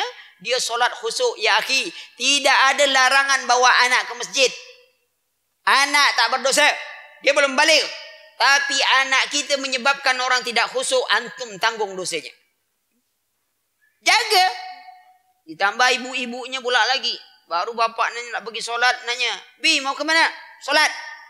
"Nih, bawa ke masjid daripada nangis di rumah." Ah, daripada nangis di rumah, anak tu memang kecil, tapi dia dengar maknya cakap. Maknya cakap daripada nangis di rumah. Waktu digendong belum nangis. Pas komat nak solat, baru diletak, anak belum langsung nangis. Mikir dulu sebentar. Teringat dia kata maknya tadi kan, Daripada nangis di rumah, berarti nangis di masjid boleh. Kata, ah, nangis anaknya masjid. Bab ibunya bilang tadi daripada nangis di rumah, lebih baik nangis di masjid. Ha? Tuh, ajar. Meninggal mereka meninggalkan sholat ajar. Tetap diajar. Di antaranya ya sholat di, di rumah. Sholat sunnahnya. Ajar. Kita ngajarkan Quran tadi juga. Ajar mereka anak-anak untuk hafal Quran baca Quran. Yang paling penting bacaannya baik dulu. Kita orang tua ni kadang-kadang nyekolahkan anak tu bukan untuk bukan cita-cita anak. Cita-cita orang tua yang tak hafal Quran. Jadi kalau nilai anaknya rendah, siapa yang nggak mau? Mak bapaknya. Hei, ngapa nilai kau merah? Lima merah. Abi belum pernah merah lima tahu. Terus, Abi merah semua kata dia. Ha? Tengok, Tetap kita anjurkan. Mau hafalan Quran anak-anak gitu. Biar mereka semangat. Ya, semakin banyak hafal Quran, otak tu semakin cerdas. Tahu kalian? Semakin banyak hafalan game, otak tu makin tersumbat. Ya. Lama-lama game over karena otaknya lah tersumbat dengan game. Ya. Berapa banyak anak-anak yang jadi stres gara-gara main game. Ya, mimpi nendang orang sebab dia suka main game karate. Kepala kawannya lah patah dibuat tendang ini dalam mimpi ya. Ya. Nah, karena itu memang dibuat orang-orang musuh Islam supaya kalian yang muda-muda tu main game nanti otak kalian tu ah lah kena virus game. Akhirnya belajar tak mantap lagi. Apa lagi baca Quran. Oh lah payah tu. Ha? Ah, dapat ujung hilang pangkal. Dapat pangkal hilang ujung. Tak ada yang dapat. Ya? Ya, nama surat apal. Nama surat. Disuruh ngapal arba, matan arba'in. Hafal ustaz. Coba sebut. Matan arba'in, matan arba'in, matan arba'in. Ha? Ada selain? Ah, itu belum lagi ustaz. Ha? Nah, lihat. Ya. Meninggalkan solat. Itu generasi yang hari ini. Lalai dan meninggalkan solat. Sudah itu hidup tanpa identitas. Ya kalau akidah tak tahu, tauhid tak tahu, itibat tak tahu, identitasnya hilang. Apa? Dia sebenarnya orang Islam. Tapi kalau kita tengok tak ada ciri-ciri Islam. Rambut tegak macam bulu landak, no? tegak. Anting-anting, lubang telinga lah ada satu, ditambah pula satu besar di sini lah. Ah, lalu tu tambah pula hidungnya pakai anting-anting. Kadang-kadang itu anak Islam juga. Ya. Metal. Gayanya bukan main. Di mana-mana. Lihat. Padahal anak Islam identitasnya hilang. Ya. Mudah niru. Berikut penyakitnya kalau identitasnya hilang. Karena dia mudah niru. Mudah niru. Apa aja nak dibuat orang. Ah, dia niru tu. Ya. Gaya ini buat. Apa semua buat. Ya. Tengok, dia pikir itu gaya modern. Ya. Perhatikan banyak yang terjadi. Identitasnya hilang. Tak ada lagi. Kita mengucap Assalamualaikum, jawabannya lain. Assalamualaikum. Metal. Ah, ya. Lain jawaban. Tak ada identitasnya lagi tuan. Celana panjang-panjang. Ya. Sempit panjang. Macam-macam. Tak ada. Solat jangan sebut lagi. Ya. Lihat. Anak-anak Islam seperti itu. Tak payah kita nak bedakan. Apalagi belum pakai busana muslimah yang perempuan ini.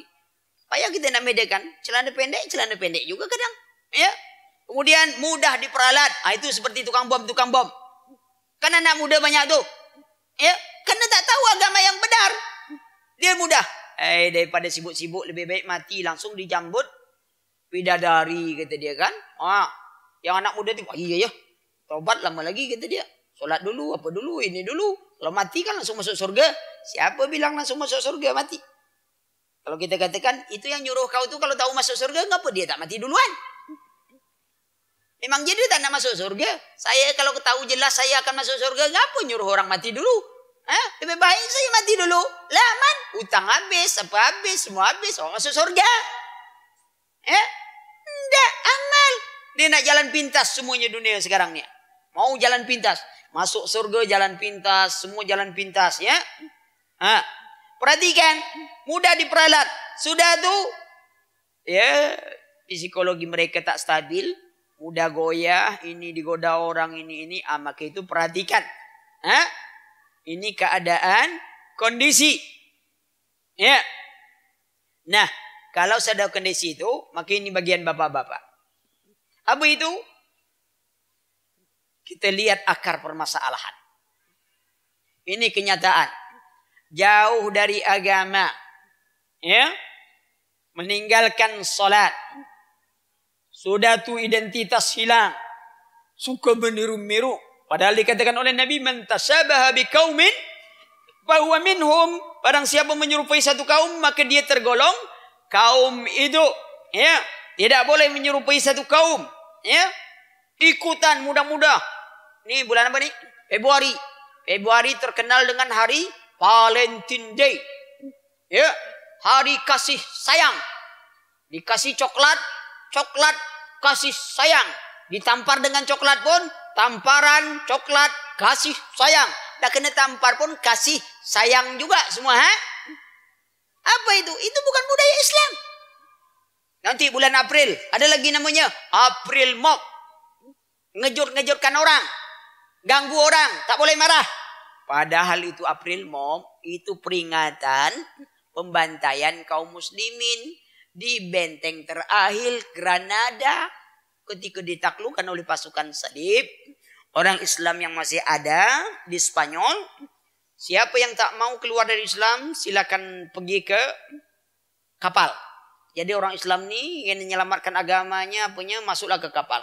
Setelah mereka kumpul di kapal, lalu kapal itu dibakar. Ribuan, ratusan ribu umat Islam mati. Itulah yang diperingati dengan acara April Mov. Yang dibuat itu siapa buat? Umat Islam, anak-anak muda pun Islam ikut-ikutan. Nah tu. Ya. Banyak ikut-ikutan. Apalagi pesta topeng hantu. Halloween. Pakai topeng macam-macam. Ya. Nah itu kebudayaan, kebudayaan. Ya, bukan dari Islam. Ikut-ikutan. Sudah tu meniru macam-macam. Ya. Nah, apa akar mudah meniru, akar tinggalkan begini? Ya. Apa akar permasalahan itu tadi? Kita telusuri. Pertama, ini oleh bapak-bapak dan apa? Rumah tangga tanpa bimbingan Islam. Dia bisa di pertama dia bisa dibentuk tapi bukan dasar takwa. Orang milih jodoh itu asal pilih saja. Yang penting cinta. Ah, ini orang remaja. Cantik, kita cintai, taat tak taat tak peduli. Yang penting dia cantik, kita cinta, dia cinta. Hidup saling menyintai. Itu yang paling penting. Tapi tak ada bimbingan agama. Itu jadi sebab. Padahal yang harus dipilih dulu nilai agamanya. Ketakwaannya. Lihat Umar Abdullah bin Abdul Aziz. Neneknya tahu siapa kalian? Kakek buyutnya itu Umar bin Khattab. Umar bin Khattab keluar jalan malam-malam. Satu ketika capek dia duduk di pintu rumah. Terdengar dalam rumah itu berbisik-bisik antara anak dengan ibunya. Ibu suruh tambah air dari susu yang akan dijual. Sebab orang luar macam itu. Anak bilang tidak. Khalifah melarang. Ibu bilang khalifah tak tahu. Kata anak, khalifah tak tahu. Tapi Tuhannya khalifah tahu. Menangis Umar dengar itu. Tuh. Ini orang miskin, anak gadisnya begitu takut kepada Allah. Besok paginya Umar perintahkan anaknya Hasim. Lalu Hasim pergi ke rumah orang tu selidiki.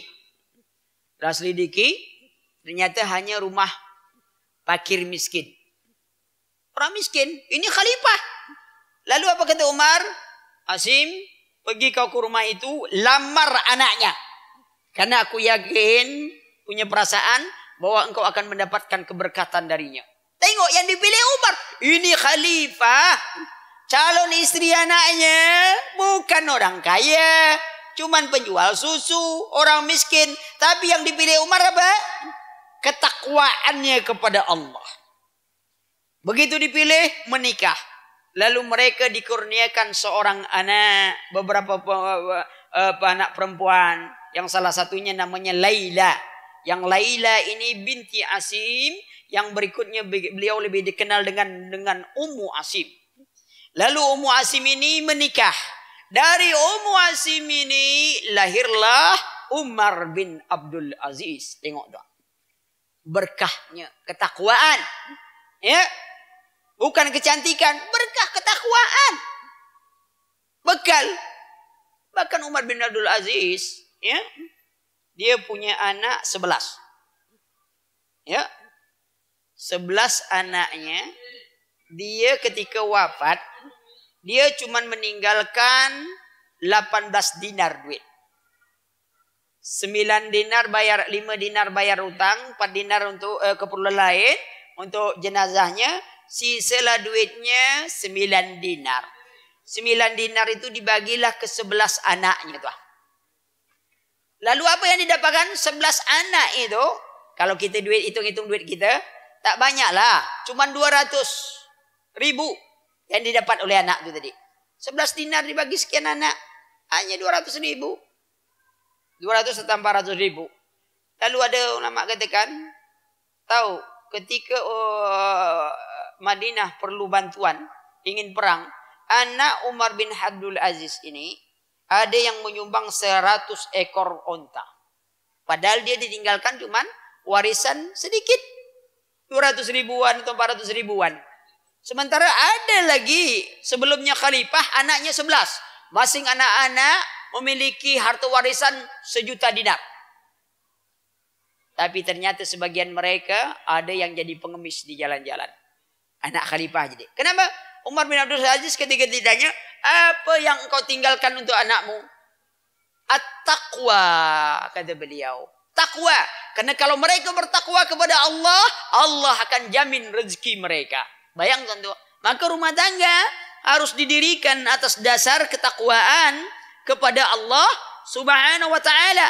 Ya sebab, antum kalau lagi ada waktu, kenapa antum tidak cari jodoh? Dunia akan kiamat. Eh? Mati belum tentu masuk surga. Istri belum dapat pula lagi. Ah, nasib betul lah. lah jatuh timpa tangga tercium daya ayam. Ha?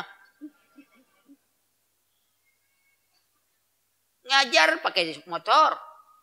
Pakai sepatu. Mantap kan? Jasa banyak. Gaji lumayan. Menikah takut. Aneh betul. Ayam tak sekolah banyak anaknya tahu. Ya. Maka itu perhatikan. Ya. Kita telusuri itu rumah tangga tanpa bimbingan Islam. Semangat. Antum lamar. Kalau ada anak orang ya. Jangan di WA terus. Ukti, bangun malam yuk. Enggak, anak orang dibangunkan malam-malam. Emak, kakak, adik tak pernah kena WA malam-malam. Anak gadis seorang di WA malam. Eh, dalam rangka dakwah, Ustaz. Dakwah syaitan. Ya, ngapa WA-WA anak orang malam-malam? Eh, lamar. Pergi ke rumahnya tuan. Mabak. Kalau antum bisa sastra, ungkapan kalimat sastra sedikit. Ada apa kata bapaknya? Saya lihat di rumah ini, di taman ini ada bunga yang sedang mekar. Ah. Kalau bapaknya ahli sastra, dia paham. Tapi kalau bapaknya tak pandai sastra, antum kena marah. Bunga apa kata dia? Sembarangan bunga rumah ni tak ada bunga-bunga di sini. Kata dia. Ah. Antum lurus-lurus saja. Pak, saya datang nih, saya nengok anak bapak dan saya mau melamar. Itu berani. Apa pekerjaanmu? Melamar anak bapak. Kan?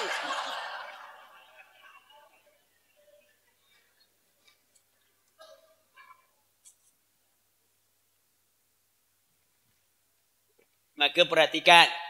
Ya. Apa nih? Lama lagi.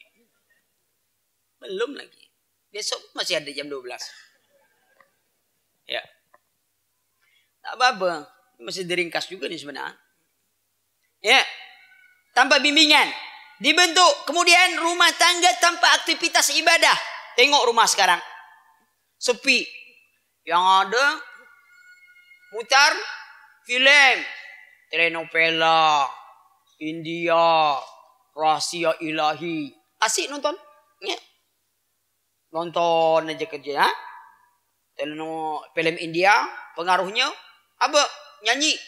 Sakit gigi nyanyi, sakit kepala nyanyi, nak berjalan nyanyi, apa nyanyi. Akhirnya kita pun ngajar orang anak-anak pakai nyanyi. Semuanya pakai nyanyi. Seolah-olah Imam Bukhari dulu ngapal hadis pakai nyanyian apa? Ha? Imam Ahmad apal sejuta hadis pakai nyanyian apa? Sehingga kita ngajar anak kini pakai nyanyian baru hafal.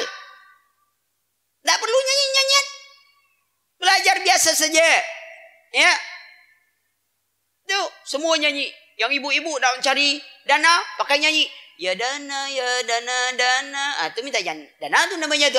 Tak dapat dana, berubah lagu. Bismillah tawakkalna billah. Berarti tawakal aja lah. Dana belum masuk. Eh? Semuanya bangga dengan nyanyian. Eh? Islam tak perlu. Nyanyian tak perlu. Dalam Islam. Apalagi musik. Tak perlu. Ya? Ajarkan baik-baik saja Quran itu. Banyak yang hafal dengan seperti itu. Ya? Eh? Nah, apalagi ibadah rumah? Tak ada. Bapak balik malam. Mak balik sore. Anak balik pagi. Bila ketemu? Ibadah tak ada di rumah. Quran tak baca di rumah, semuanya tak ada sepi, baru nonton bareng. Ya, ada nanti acara nonton bareng. Nonton sambil baring-baring. Nah, baru ada berkumpul. Untuk ibadah, enggak. Maka cuba sekali-sekali ibadah. Kalau tak ada di rumah tu bisa aktif. Pas ada pengajian, pergi sama satu keluarga. Ah, pergi. Jadwalnya. Kita jangan pergi rehlah saja yang nak. Ya, perhatikan perjalanan kita tu semua ditanya oleh Allah Subhanahu Wa Taala. Kedua, rumah tangga. Ketiga, rumah tangga tu tanpa kasih sayang. Ya. Ah. Bapak ibu tak berhenti bertengkar. Ya. Kadang-kadang bapak nendang ibu. Ibu nampar bapak. Akhirnya anak bertinju-tinju. Ya. Kemudian kekerasan terhadap anak-anak. Belum lagi kekerasan kepada pembantu. Rumah tangga tu tanpa kasih sayang sama sekali. Itu menyebabkan anak-anak kita jadi stres. Ya. Coba lihat Rasulullah lembut, ya. Pada istrinya subhanallah, ya. Manggil istrinya dengan panggilan kesayangan. Kadang-kadang baru aja nak naik onta, Rasulullah tu sediakan pahanya tu. Silakan pijak naik ke onta. Kalau kita sekarang ndak lah ya. Pernah ada antum Waktu istri mau masuk mobil antum buka kan? Eh tunggu istriku. Abang buka dulu pintu ni. Nah, silahkan masuk. Pernah ada? Baling, bang bukakan pintu bang. Ah, dah tua-tua buka sendiri tak bisa. Ha, masuk sendiri sama masuk. Ah, kan? Tak ada. Coba kalau ustaz. Wah, berbukaan pintu. Ustaz tu lah tua, pandai buka. Kenapa dia suruh bukakan lagi? Oh, dibuka. Ustaz, silakan ustaz. Tengok tu ah. Istri kita sendiri. Yang istri gitu juga. Suami itulah pergi naik motor tanpa helm. Dibiarkan aja. Pernah ada istri itu panggil. Bang, bang sini dulu bang. Apa? Ah, biar adik pasang helm bang. Sebelum yang lain masang. Berbunyi tik. Baru berjalan. Tak. Ini tak pernah ada. Cuek-cuek. Dulu waktu ta'aruf. Bukan main pegangan. Macam ransel. Kalau pacaran dan macam perangko. Rangku kan kalau hari hujan kan lepas tuh. Ya, kalau ransel hari hujan, Allah, apalagi ransel zaman sekarang, pakai tutup. Pegangan makin kuat.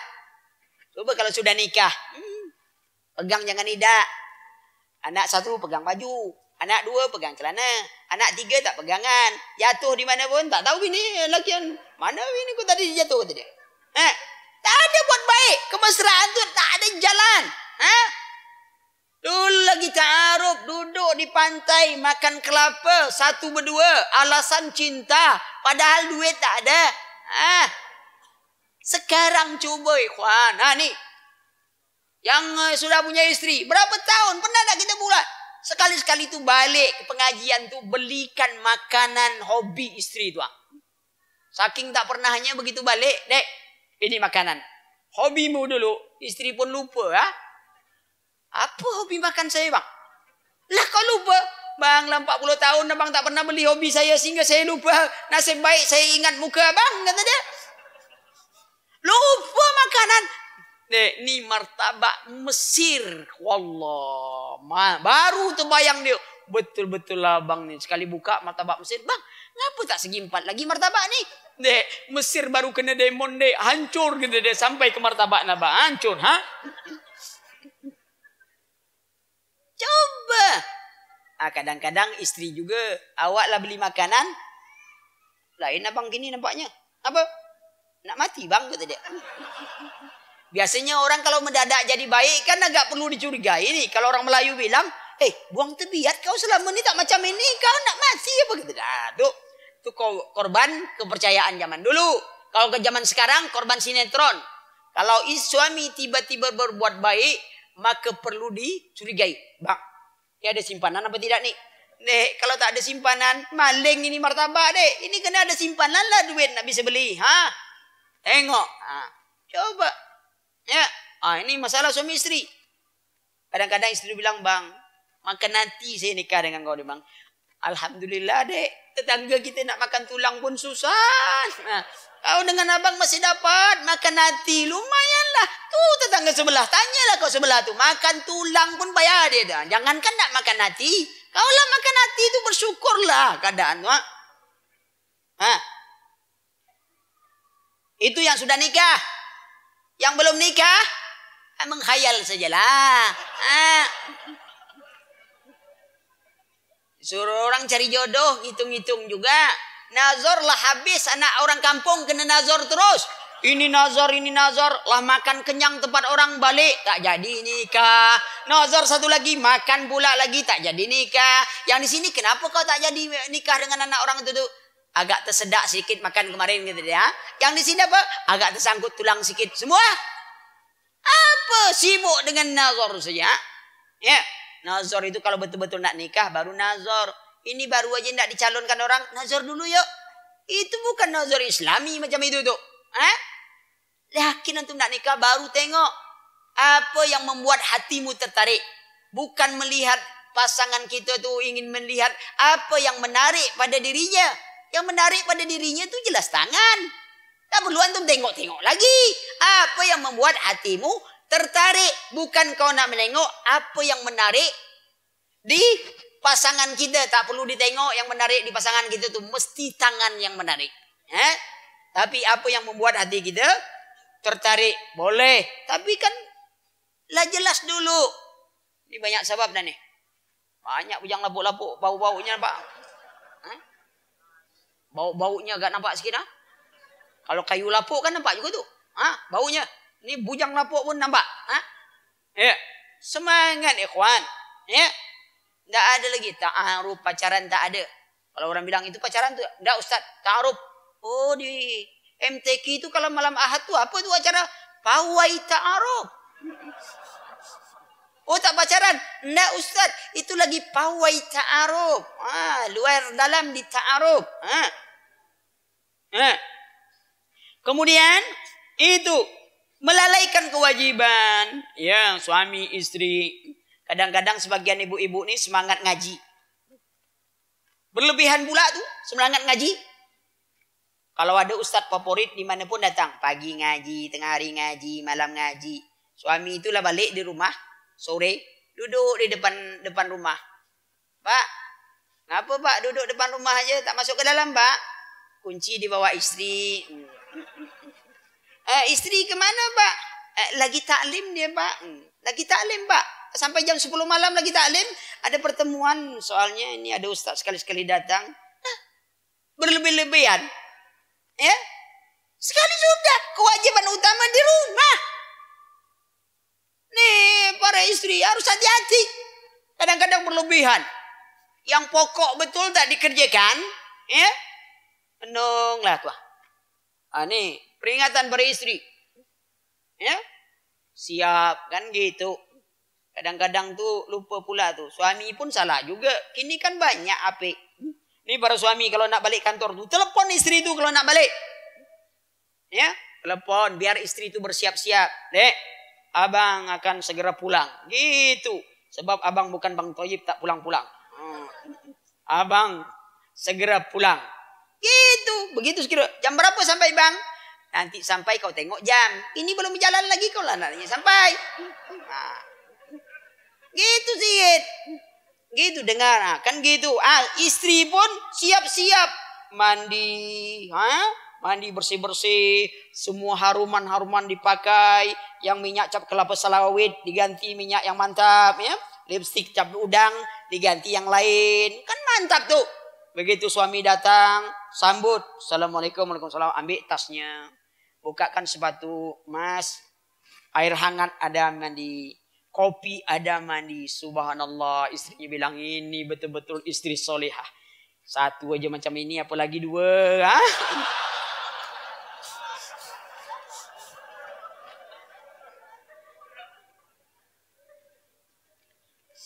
Ternyata itulah jadi sebab istri itu tak nak bersoleh. Eh?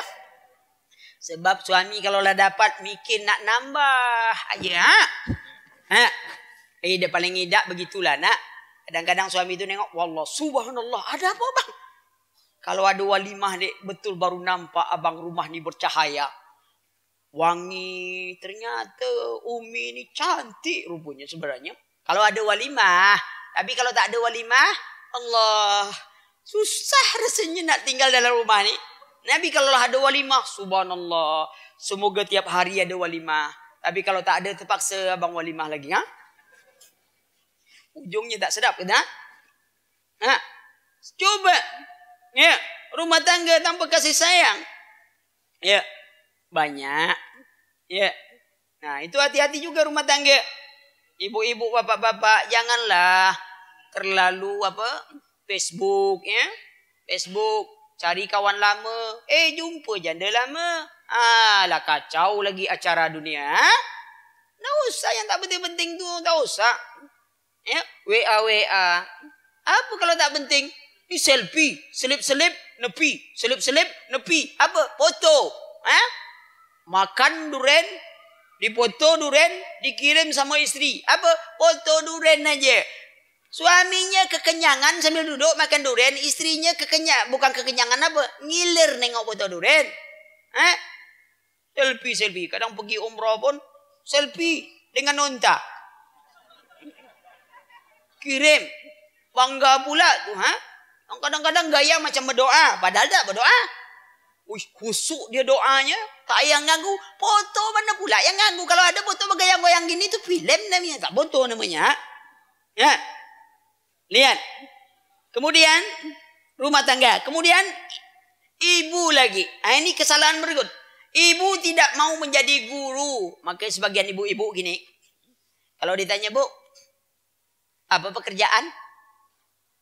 Malas dia nyebut dengan bangga. Oh, saya banyak pekerjaan. Ini apa? Ibu rumah tangga. Jarang dia ngomong gitu. Yang paling-paling tak ada kata dia. Ibu tak ada kerjaan. Tidak ada. Cuman ibu rumah tangga. Tengok tuh. Padahal mengurus rumah tangga itu lebih berat daripada kita kerja kantoran. Kenapa? Ngurus rumah, ngurus tangga. Bayangkan kalau rumah itu tiga tingkat. Hmm? Berapa banyak tangga yang harus antum terus? Ngurus rumah tangga itu berat. Baru nanti ngurus anak lagi. Ngurus suami. Berat ngurus rumah tangga itu. Rumah, ada tangga, ada apa, ada ini. Ha? Berat. Maka itu apa? Rumah tangga. Tak ada kerjaan lain, Pak. Ini aja payah saya nak ngerjakan. Belum lagi tangga patah, tangga rusak, tangga ini. Banyak. Nah, bangga jadi rumah tangga. Tinggal dulu orang dulu. Umahat dulu, bangga. Anak-anaknya mereka jadi. Kenapa? Ibunya yang mendidiknya. Ya, bangga ibunya. Ya. Uh, kemudian terjadi kesalahan dalam dunia pendidikan, ya. Ya. Apa? Di rumah maupun di sekolah itu arahan pendidikan tak lagi arah dunia, akhirat. Arah dunia. Cita-citanya nyekolahkan anak dunia. Semuanya orientasi dunia. Tak ada lagi akhirat. Maka itu perhatikanlah ketika pendidikan ini. Kemudian dalam mendidik juga kadang-kadang kita bukan mendidik anak itu takut kepada Allah.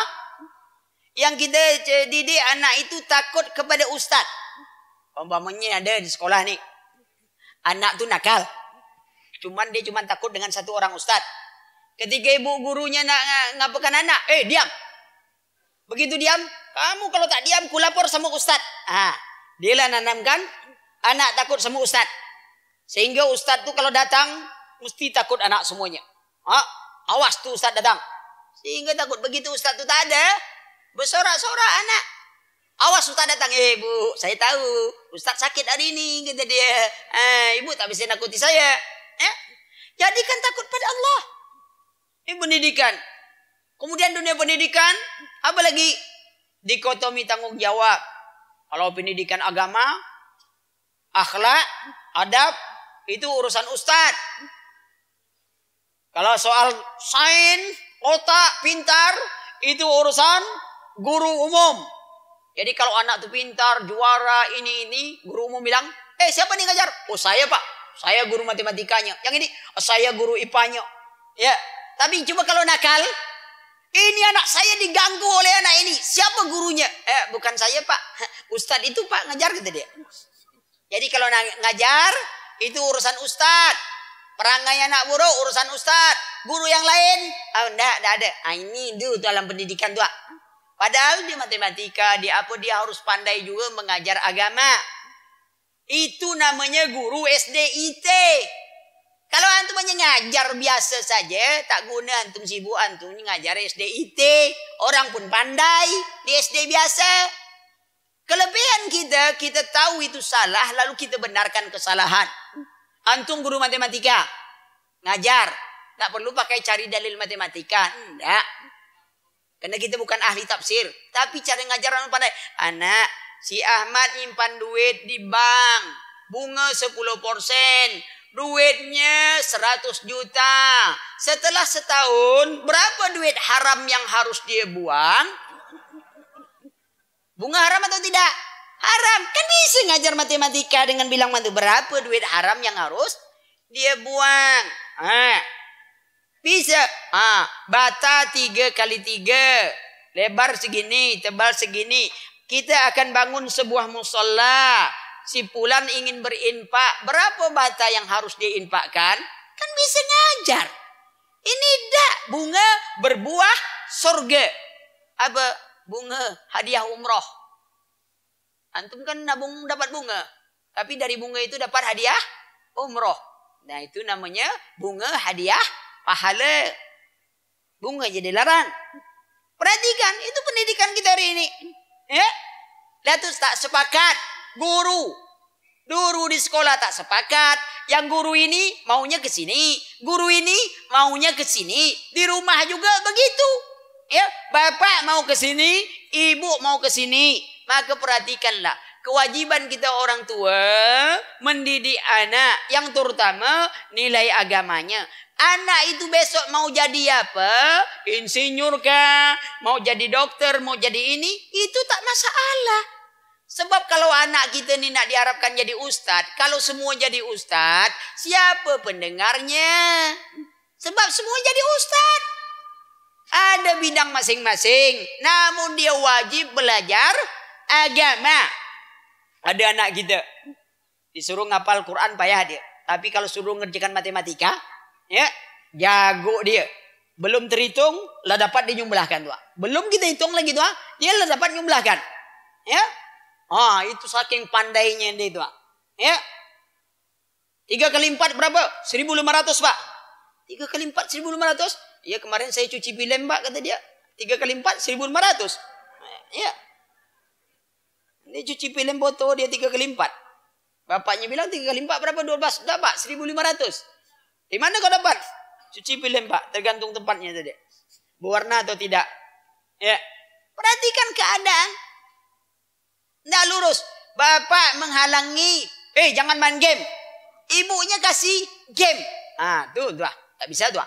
Di sekolah satu guru menanamkan agar anaknya besok kamu harus begini-begini. Guru lain ke agama ini ini. Ah itu kacau anak tuh di sekolah besok.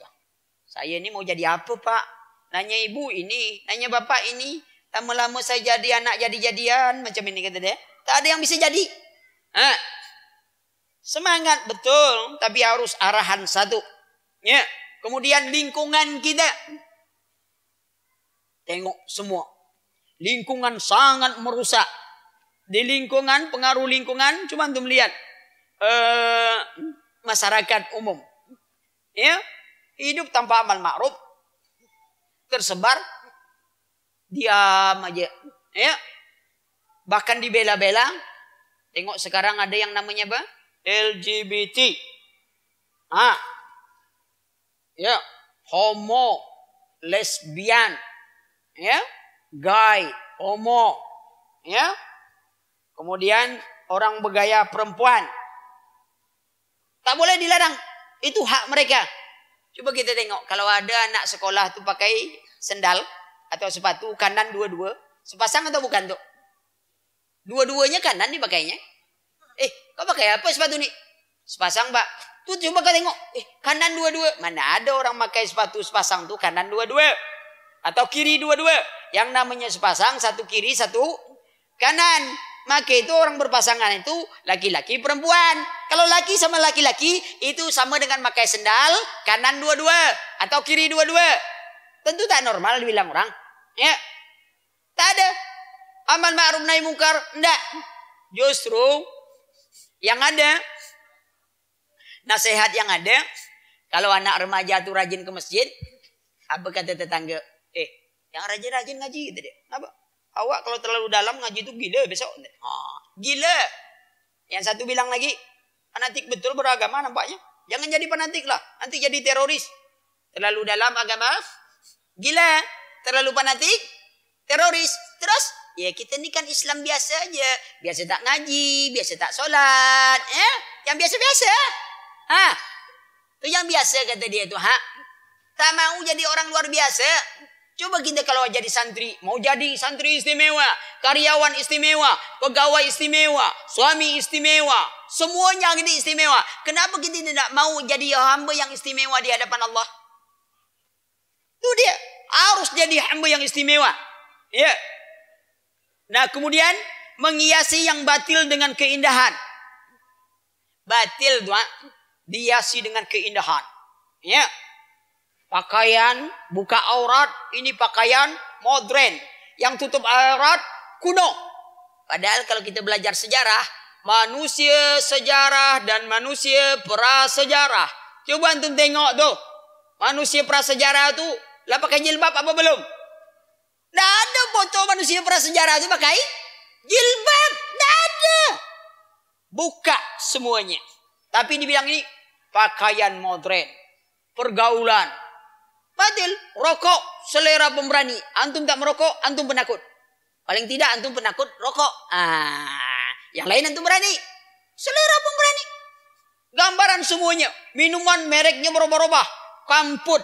Kambing putih. Ah, itu nama macam-macam. Dulu ada berita iklan gitu kan. Rokok dapat membunuhmu. Sekarang pakai dapat lagi tak? Tak kan? Sebab waktu rokok dapat, dia bilang, Eh rokok saya beli Bukan rokok dapat. Ah, Kalau rokok dapat Ya membunuh kita. Tapi kalau rokok beli Tak masalah. Ah, Dibuanglah kata-kata dapat Rokok membunuhmu. Jadi tak bisa alasan lain lagi. Ah, Tapi masih banyak yang butuh huruf Tak bisa baca. Ah, Itu dia.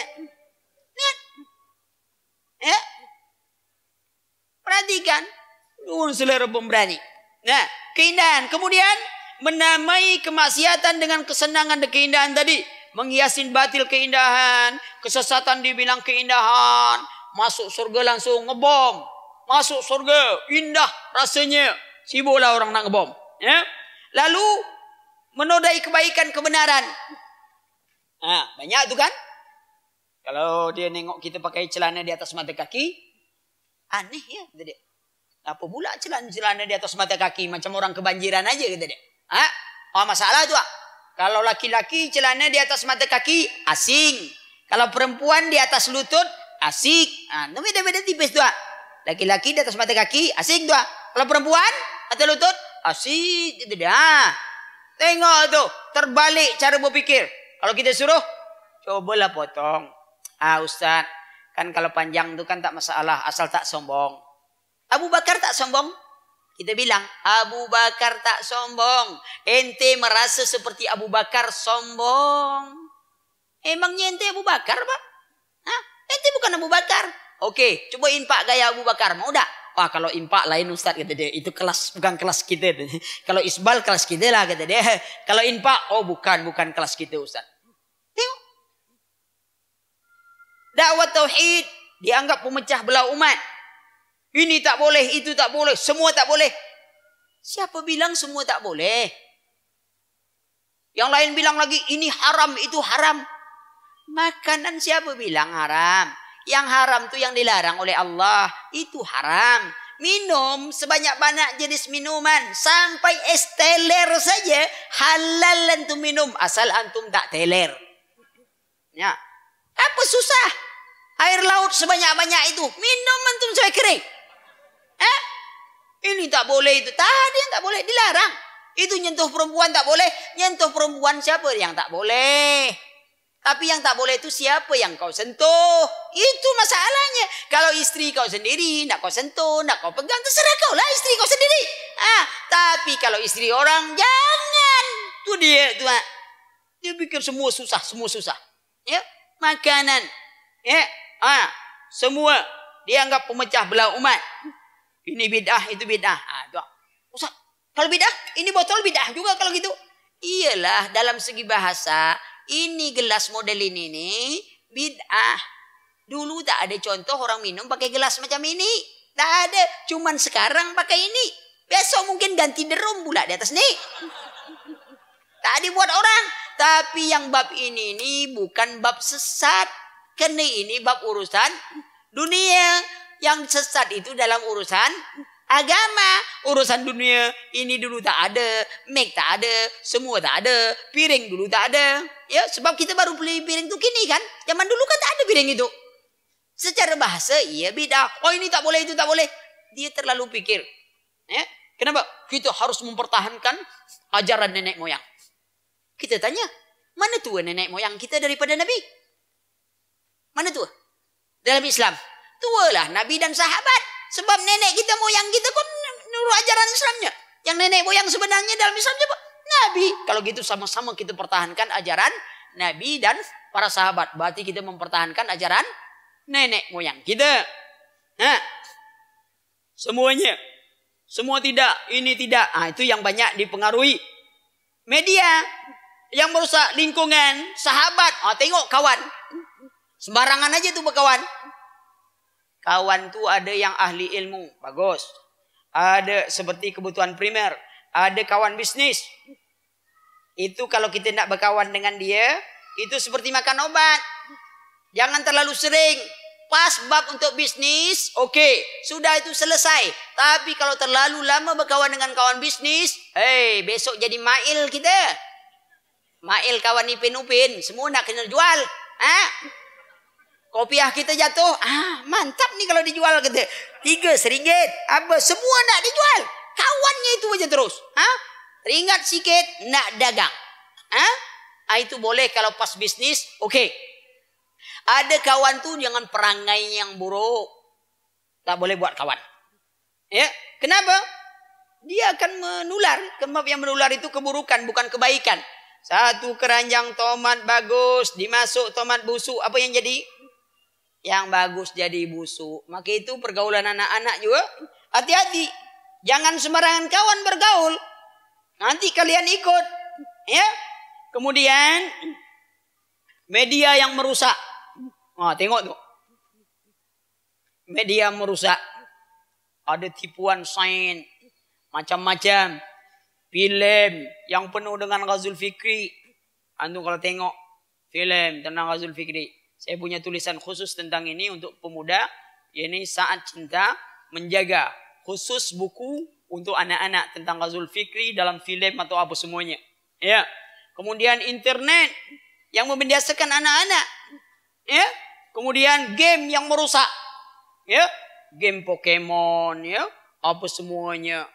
Sibuk orang cari film lagi Doraemon. Anak-anak semuanya mau jadi Doraemon supaya buat PR nanti berkawan dengan Nopita. Nopita, Nopita, PR siap ya.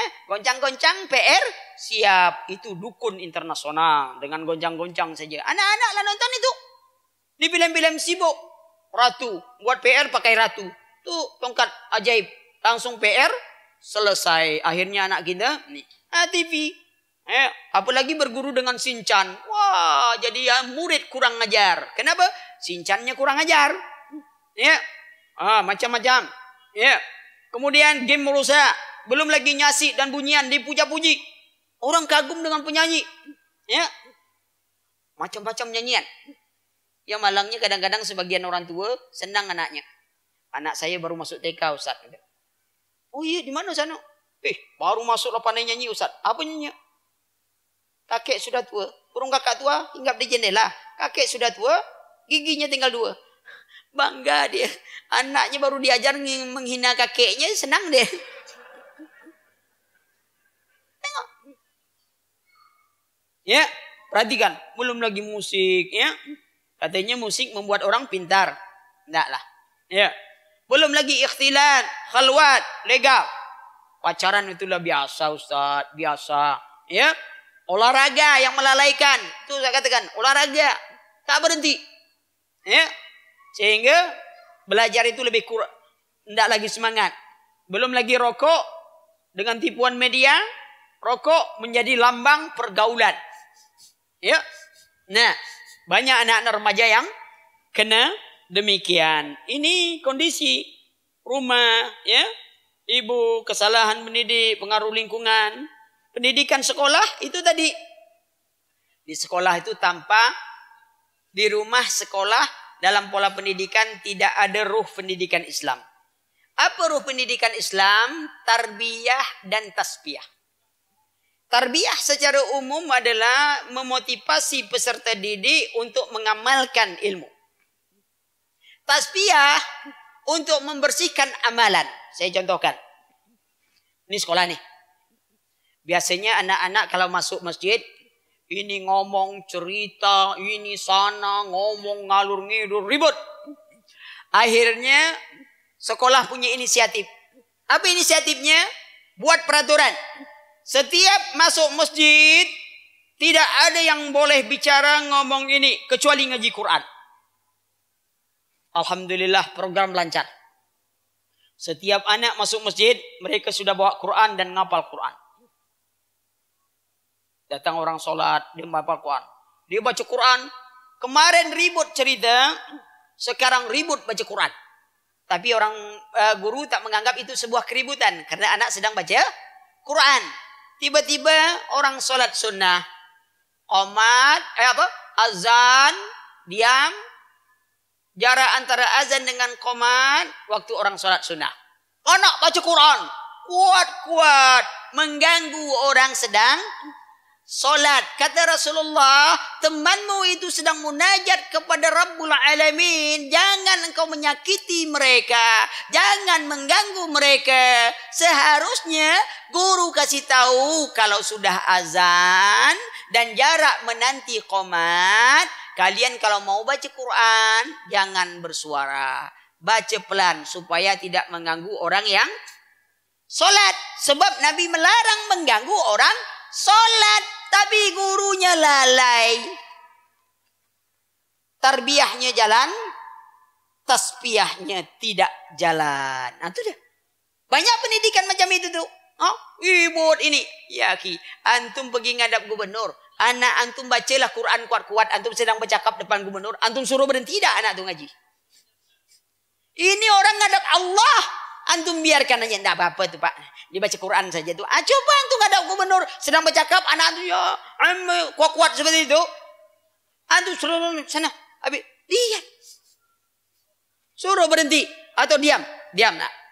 Kalau kalian mau baca. Begitu juga habis solat. Kan ada waktu solat sunnah. Mungkin bisa waktu setengah jam. Kalau sudah habis waktu ada yang seperti itu mungkin ya orang tak solat. Ya kita sedang baca Quran orang solat lain masalah. Ini kan itu memang waktunya untuk solat. Sunnah orang. Tapi itu oh, keluar bacaan sangat mengganggu. Sehingga ada orang solat tak selesai-selesai. Ya, baru baca ayat ini, pindah pula ayat lain. Baru baca, pindah pula. Eh, mana pula baca? Sebab ini lain baca-baca. Dia orang yang was-wasnya tinggi. Amma yatasa'alun. Sambihis marab. Eh, sambihis pula kata dia. Alah, kacau dibuat. Ha? ha? maka, perhatikan ruh pendidikan itu. Dimanapun di rumah harus ada pembersihan akidah dari yang merusaknya. Antu. Oh, kadang-kadang Umi yang takut tuah. Anaknya tak takut dengan antu. Tapi Uminya takut setengah mati. Sudah nak solat malam ni Umi tuah. Pas tadi bangun. Mendengar ayam berkokok. Kalau ayam berkokok ini ada. Berarti ada malaikat dia nengok. Baru nak angkat takbir. Terdengar lolongan anjing. Hah? Anjing melolong. Berarti ada setan ni. Tak jadi solat. Awak pula kena setan. Ha? Takut. Ya. Ah, tu dalam dunia pendidikan. Kemudian orientasi pendidikan tadi apa? Dunia. Pendidikan dibuat bukan untuk mengajarkan akhirat, bukan untuk menanamkan cinta kepada akhirat, tapi dunia untuk dunia dan kepada dunia. Ini juga menjadi sebab kita tidak bisa mendapatkan generasi yang akan datang, generasi yang benar-benar menyintai Allah dan Rasulnya, maka hendaklah kita berusaha agar generasi kita berikutnya ya adalah generasi yang benar-benar menyintai Allah dan Rasulnya. Kemudian setelah kita ketahui itu, maka perhatikanlah bagian berikutnya di antara jalan-jalan untuk kebaikan itu, ya, kita memperbaiki akar kerusakan, ya, dengan apa? Tarbiyah dan tasbiyah tadi. Sudah itu kita menjalankan prinsip pendidikan tarbiyah nabawiyah. Tarbiyah nabawi kita tahu bahwasanya sama dengan uh, dakwah ud'u ila sabili rabbika bil hikmati wal mau'izatil hasanah. Ajalah ya, serulah. Maka kita melaksanakan tarbiyah nabawiyah di situ ada hikmah, ya uswatun hasanah dan dialog. Ini ada bab-bab khusus lagi, ya. Sudah itu laksanakan wasiat para anbiya wal mursalin, wasiat ketakwaan, biru itiba, biru walidain, ya.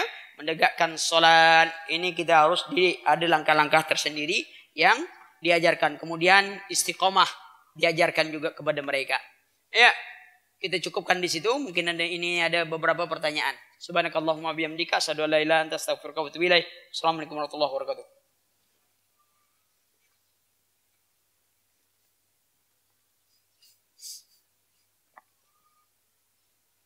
Ini pertanyaan semua kan? Bukan tagihan apa kan? Oh, tagihan utang bayaran bayar hari ini. Mohon doanya Ustaz. Anak ingin menikah dan insya Allah tahun depan Ustaz. Lama betul. Ya.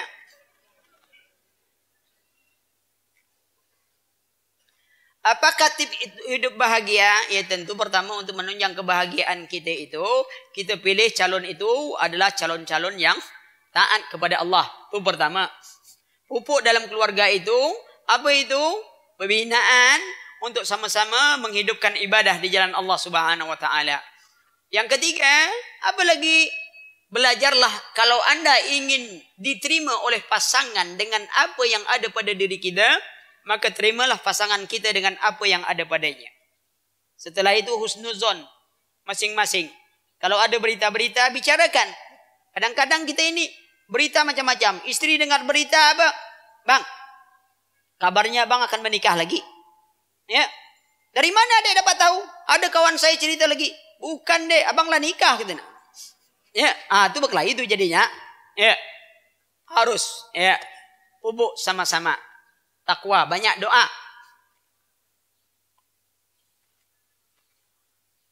Assalamualaikum warahmatullahi wabarakatuh. Bagaimana hukumnya membuat kue ulang tahun atau sari untuk anak muda atau yang sudah menikah Ustaz? Bagaimana dua yang tersebut bentuk kepala hewan seperti Hello Kitty atau ini sebaiknya jangan nanti ikutkan buat kue-kue macam itu. Itu saja. Ya.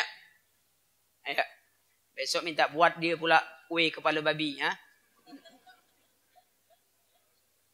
Ustaz, tolong nasihati ibu-ibu yang membawa anak di pengajian dan membiarkan anaknya. Dari tadi saya bercakap, itu nasihat atau bukan?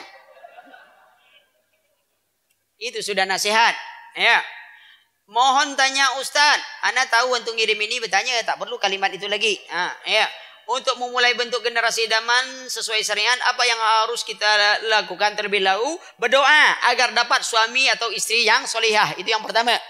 Kalau tak ada istri tak ada apa macam apa awak nak bentuk? Atau awak jadi guru tak masalah. Ya. Ha. musik adalah suara yang disusun demikian rupa sehingga mengandung irama. Apakah hukum musik dalam Islam itu haram? Haram.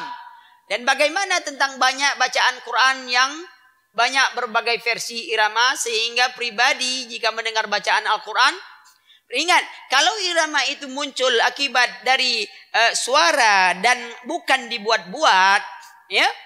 Lihat kalau irama itu memang irama khusus nyanyian bah tidak boleh antum bawa irama itu. Umpamanya orang baca Al-Fatihah dibawa irama dangdut ya sariosa haram tidak boleh. Karena itu irama khas tapi kalau antum lihat banyak irama dibaca orang dan dia tidak menyusahkan diri. Kan kita tengok macam-macam irama yang dibawa. dari hasil itu dan itu tidak masalah dan dia tidak menyusahkan diri. Maka sebagian ulama mengatakan jangan antum menyusahkan diri untuk belajar irama. Cocok aja dengan suara kita sendiri. Ya. Suara kita biasa, kita nak niru Musari Rasid, sumbang orang dengar. Ha? Ini apa suara orang? Nak niru-niru. Baru Alhamdulillahirrabbilalamin. Ah, itu nak gaya apa? Apa? Sudes. Suara tu tak suara sudes. Ha? Akhirnya suara pedas saja dengar kawan. Ha? Nah, tapi kalau sudah biasa tak niru ya perhatikan. Yang penting tartil. Kalau antum bacanya tartil bagus itu lahir suara itu. Ya. Yang penting jangan menyusahkan diri. Ya. Kita bisa lihat tengok ada ada uh, Syekh Badar Balela ada bacaannya tarannum iramanya itu biasa aja. Ada delapan irama bayati, siqah, ada semuanya. Tetapi mereka tak sulit untuk belajar ya. Ya. Nah. Jadi jangan pula bawa apa? Tak boleh pula baca Quran itu pakai musik. Ya. Ya. Bagaimana cara menghadapi orang tua yang menentang sunnah dan bagaimana cara mendakwai mereka? Sabar. Jangan kalau banyak yang maksiat dia ini itu sabar dulu ikhwan. Tetap dakwah tapi sabar. Kadang-kadang kita tak sabar dalam dakwah. Kita ingin orang bertobat simsalabin. Ya. Saya mau tanya, ah, inilah panjang, banyak pula lagi. Saya mau tanya tentang riba.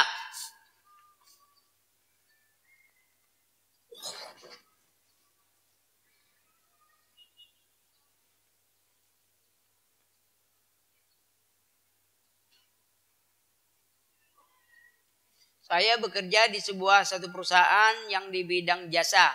Terlahir dan ini ini apa ini apakah uang yang saya kerjakan itu apa jasa yang antum beri jasa apa? Ya, karena uang itu hasil dari pinjaman riba dan antum tahu wallahu alam tak tahu. Bagaimana hukumnya saya bekerja di perusahaan yang pemiliknya non muslim? Boleh saja. Kalau antum bekerja gitu biasa aja. Asal jangan antum bekerja nih. Kadang-kadang banyak kita ini kerja karena muslim. Ya, tapi ingat apa pekerjaan antum? Kalau disuruh dia menipu, kerja di tempat muslim tak boleh juga. Ya, apa hukumnya saya bekerja di salah satu perhotelan. Banyak betul tempat kerja antumnya. Jadi anda bingung nak apa? Ah, apa hukumnya saya bekerja di salah satu perhotelan di Pekanbaru di mana tamu tersebut yang mungkin tidak kita ketahui ada maksiatnya. Kalau tak ada jangan antum nak nanya-nanya. Cari penyakit namanya. Hah? ada maksiatnya ini nih. Ikhwan Allah wala mana tak tahu. Antum kalau sampai bekerja satu ini, kalau antum tak suruh tanya, jangan terlalu banyak tanya antum. Antum berdagang sapi yang belinya orang Cina. Apa antum mentang mentang eh duit kau tu dari mana tu? Dan megang babi dia atau tidak? Hah? Ah, jangan banyak tanya. Ya. Ah, kalau yang jelas-jelas betul. Ya. Ah, tanya sama ustaz yang lain ya. Mohon dijelaskan ustaz berbakti eh, bakti amal yang bisa saya amalkan untuk orang tua yang sudah wafat. Ya. Pertama yang orang tua wafat ik, apa? Semua amalan kita insya Allah orang tua kita terdapat.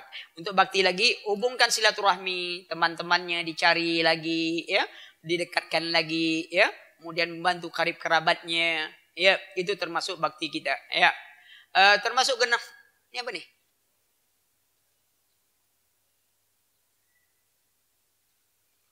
Apakah termasuk generasi salaf ini hancur karena ikhwan mengechat akhwat? Chatting akhwat atau no? Ikhwan ini sudah mengaji. Tapi mengechat awat karena hanya sebatas teman. Mohon doa nasihat. Nah, ada perlu antum itu tuh. Chatting-chattingan itulah mulai besok ini tuh. Ya. Urusan-urusan itu bahaya. Awalnya chatting biasa. Sudah tuh mulai curhat. Hah? curahan hati. Ala mulai itu ya? Mulai berbunga-bunga. Ya nazratun nazratun mulai terjadi. Sebaiknya bagaimana Ustadz ketika celana cakra dalam udah jelek dibuang atau dibakar. Apa nih ketika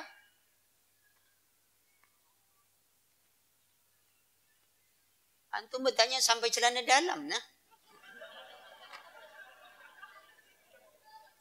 Kalaulah koyak, kalau ini antum bakar aja lah, buang, selesai urusan.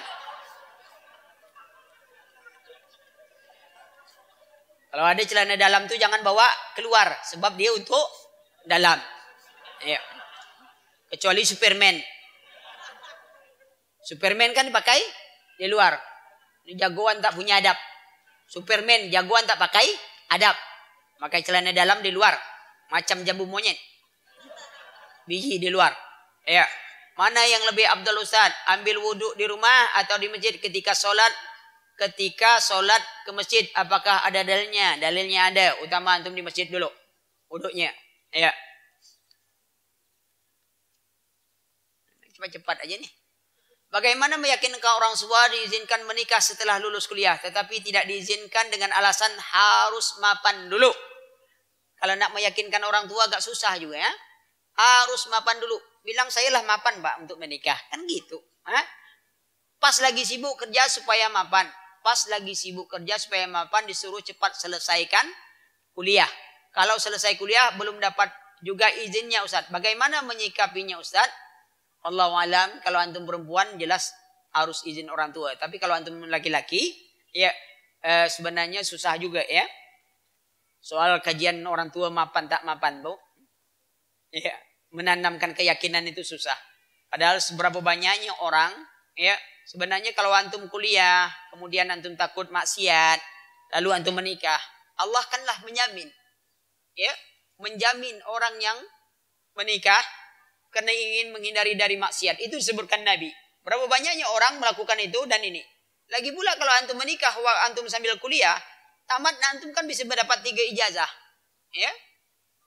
Pertama ijazah sarjana, kedua akte kelahiran anak, ketiga surat nikah. Ya, tiga.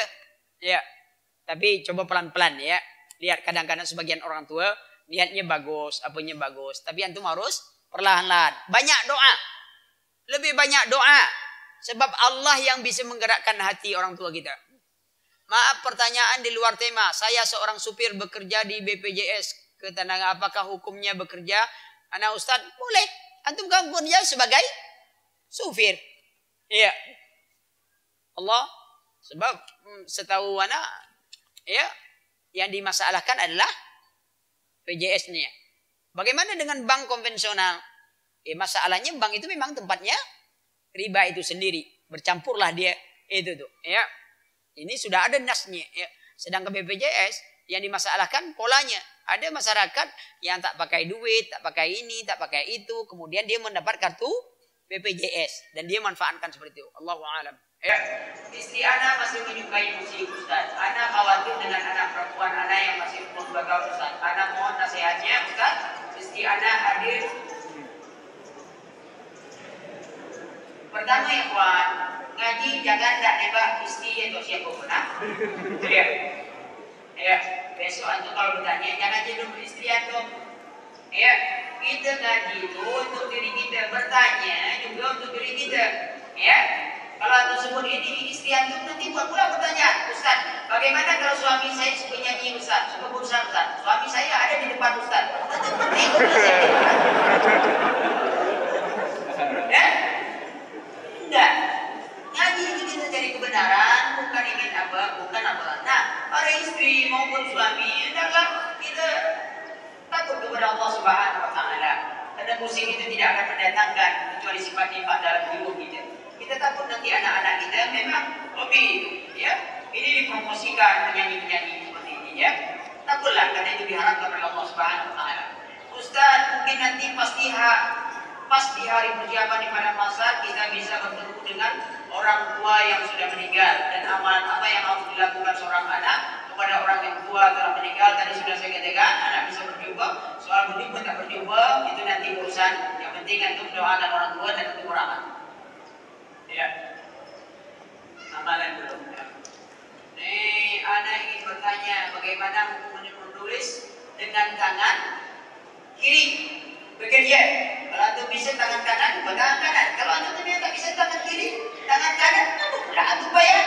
Ada orang cuma bisa nulis dengan kaki, dan dia tak punya tangan. Itu tuh boleh aja. Iya. Tapi kalau antum bisa kanan, kanan lebih baik. Tapi ada orang memang kidal. Bahkan anak ada dapatan orang makannya. Ya. Tapi dia tak bisa merubah kebiasaan. Ya.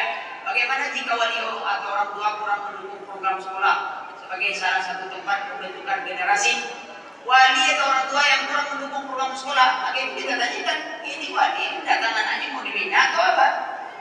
Sebab kalau tidak ada itu susah. Tak ada kesamaan. Ya. Nah, Maka itu harus ada pertemuan wali ini bincang baik-baik ya. Arah anak-anak kita di apa? Tapi ingat ya. Sekolah itu kan memberikan program. Dan wali murid bukan kerjanya Nak merusak program. Kedua orang buat sekolah karena sebagian murid-murid, oh ini tak bagus, ini tak ikut, harusnya begini,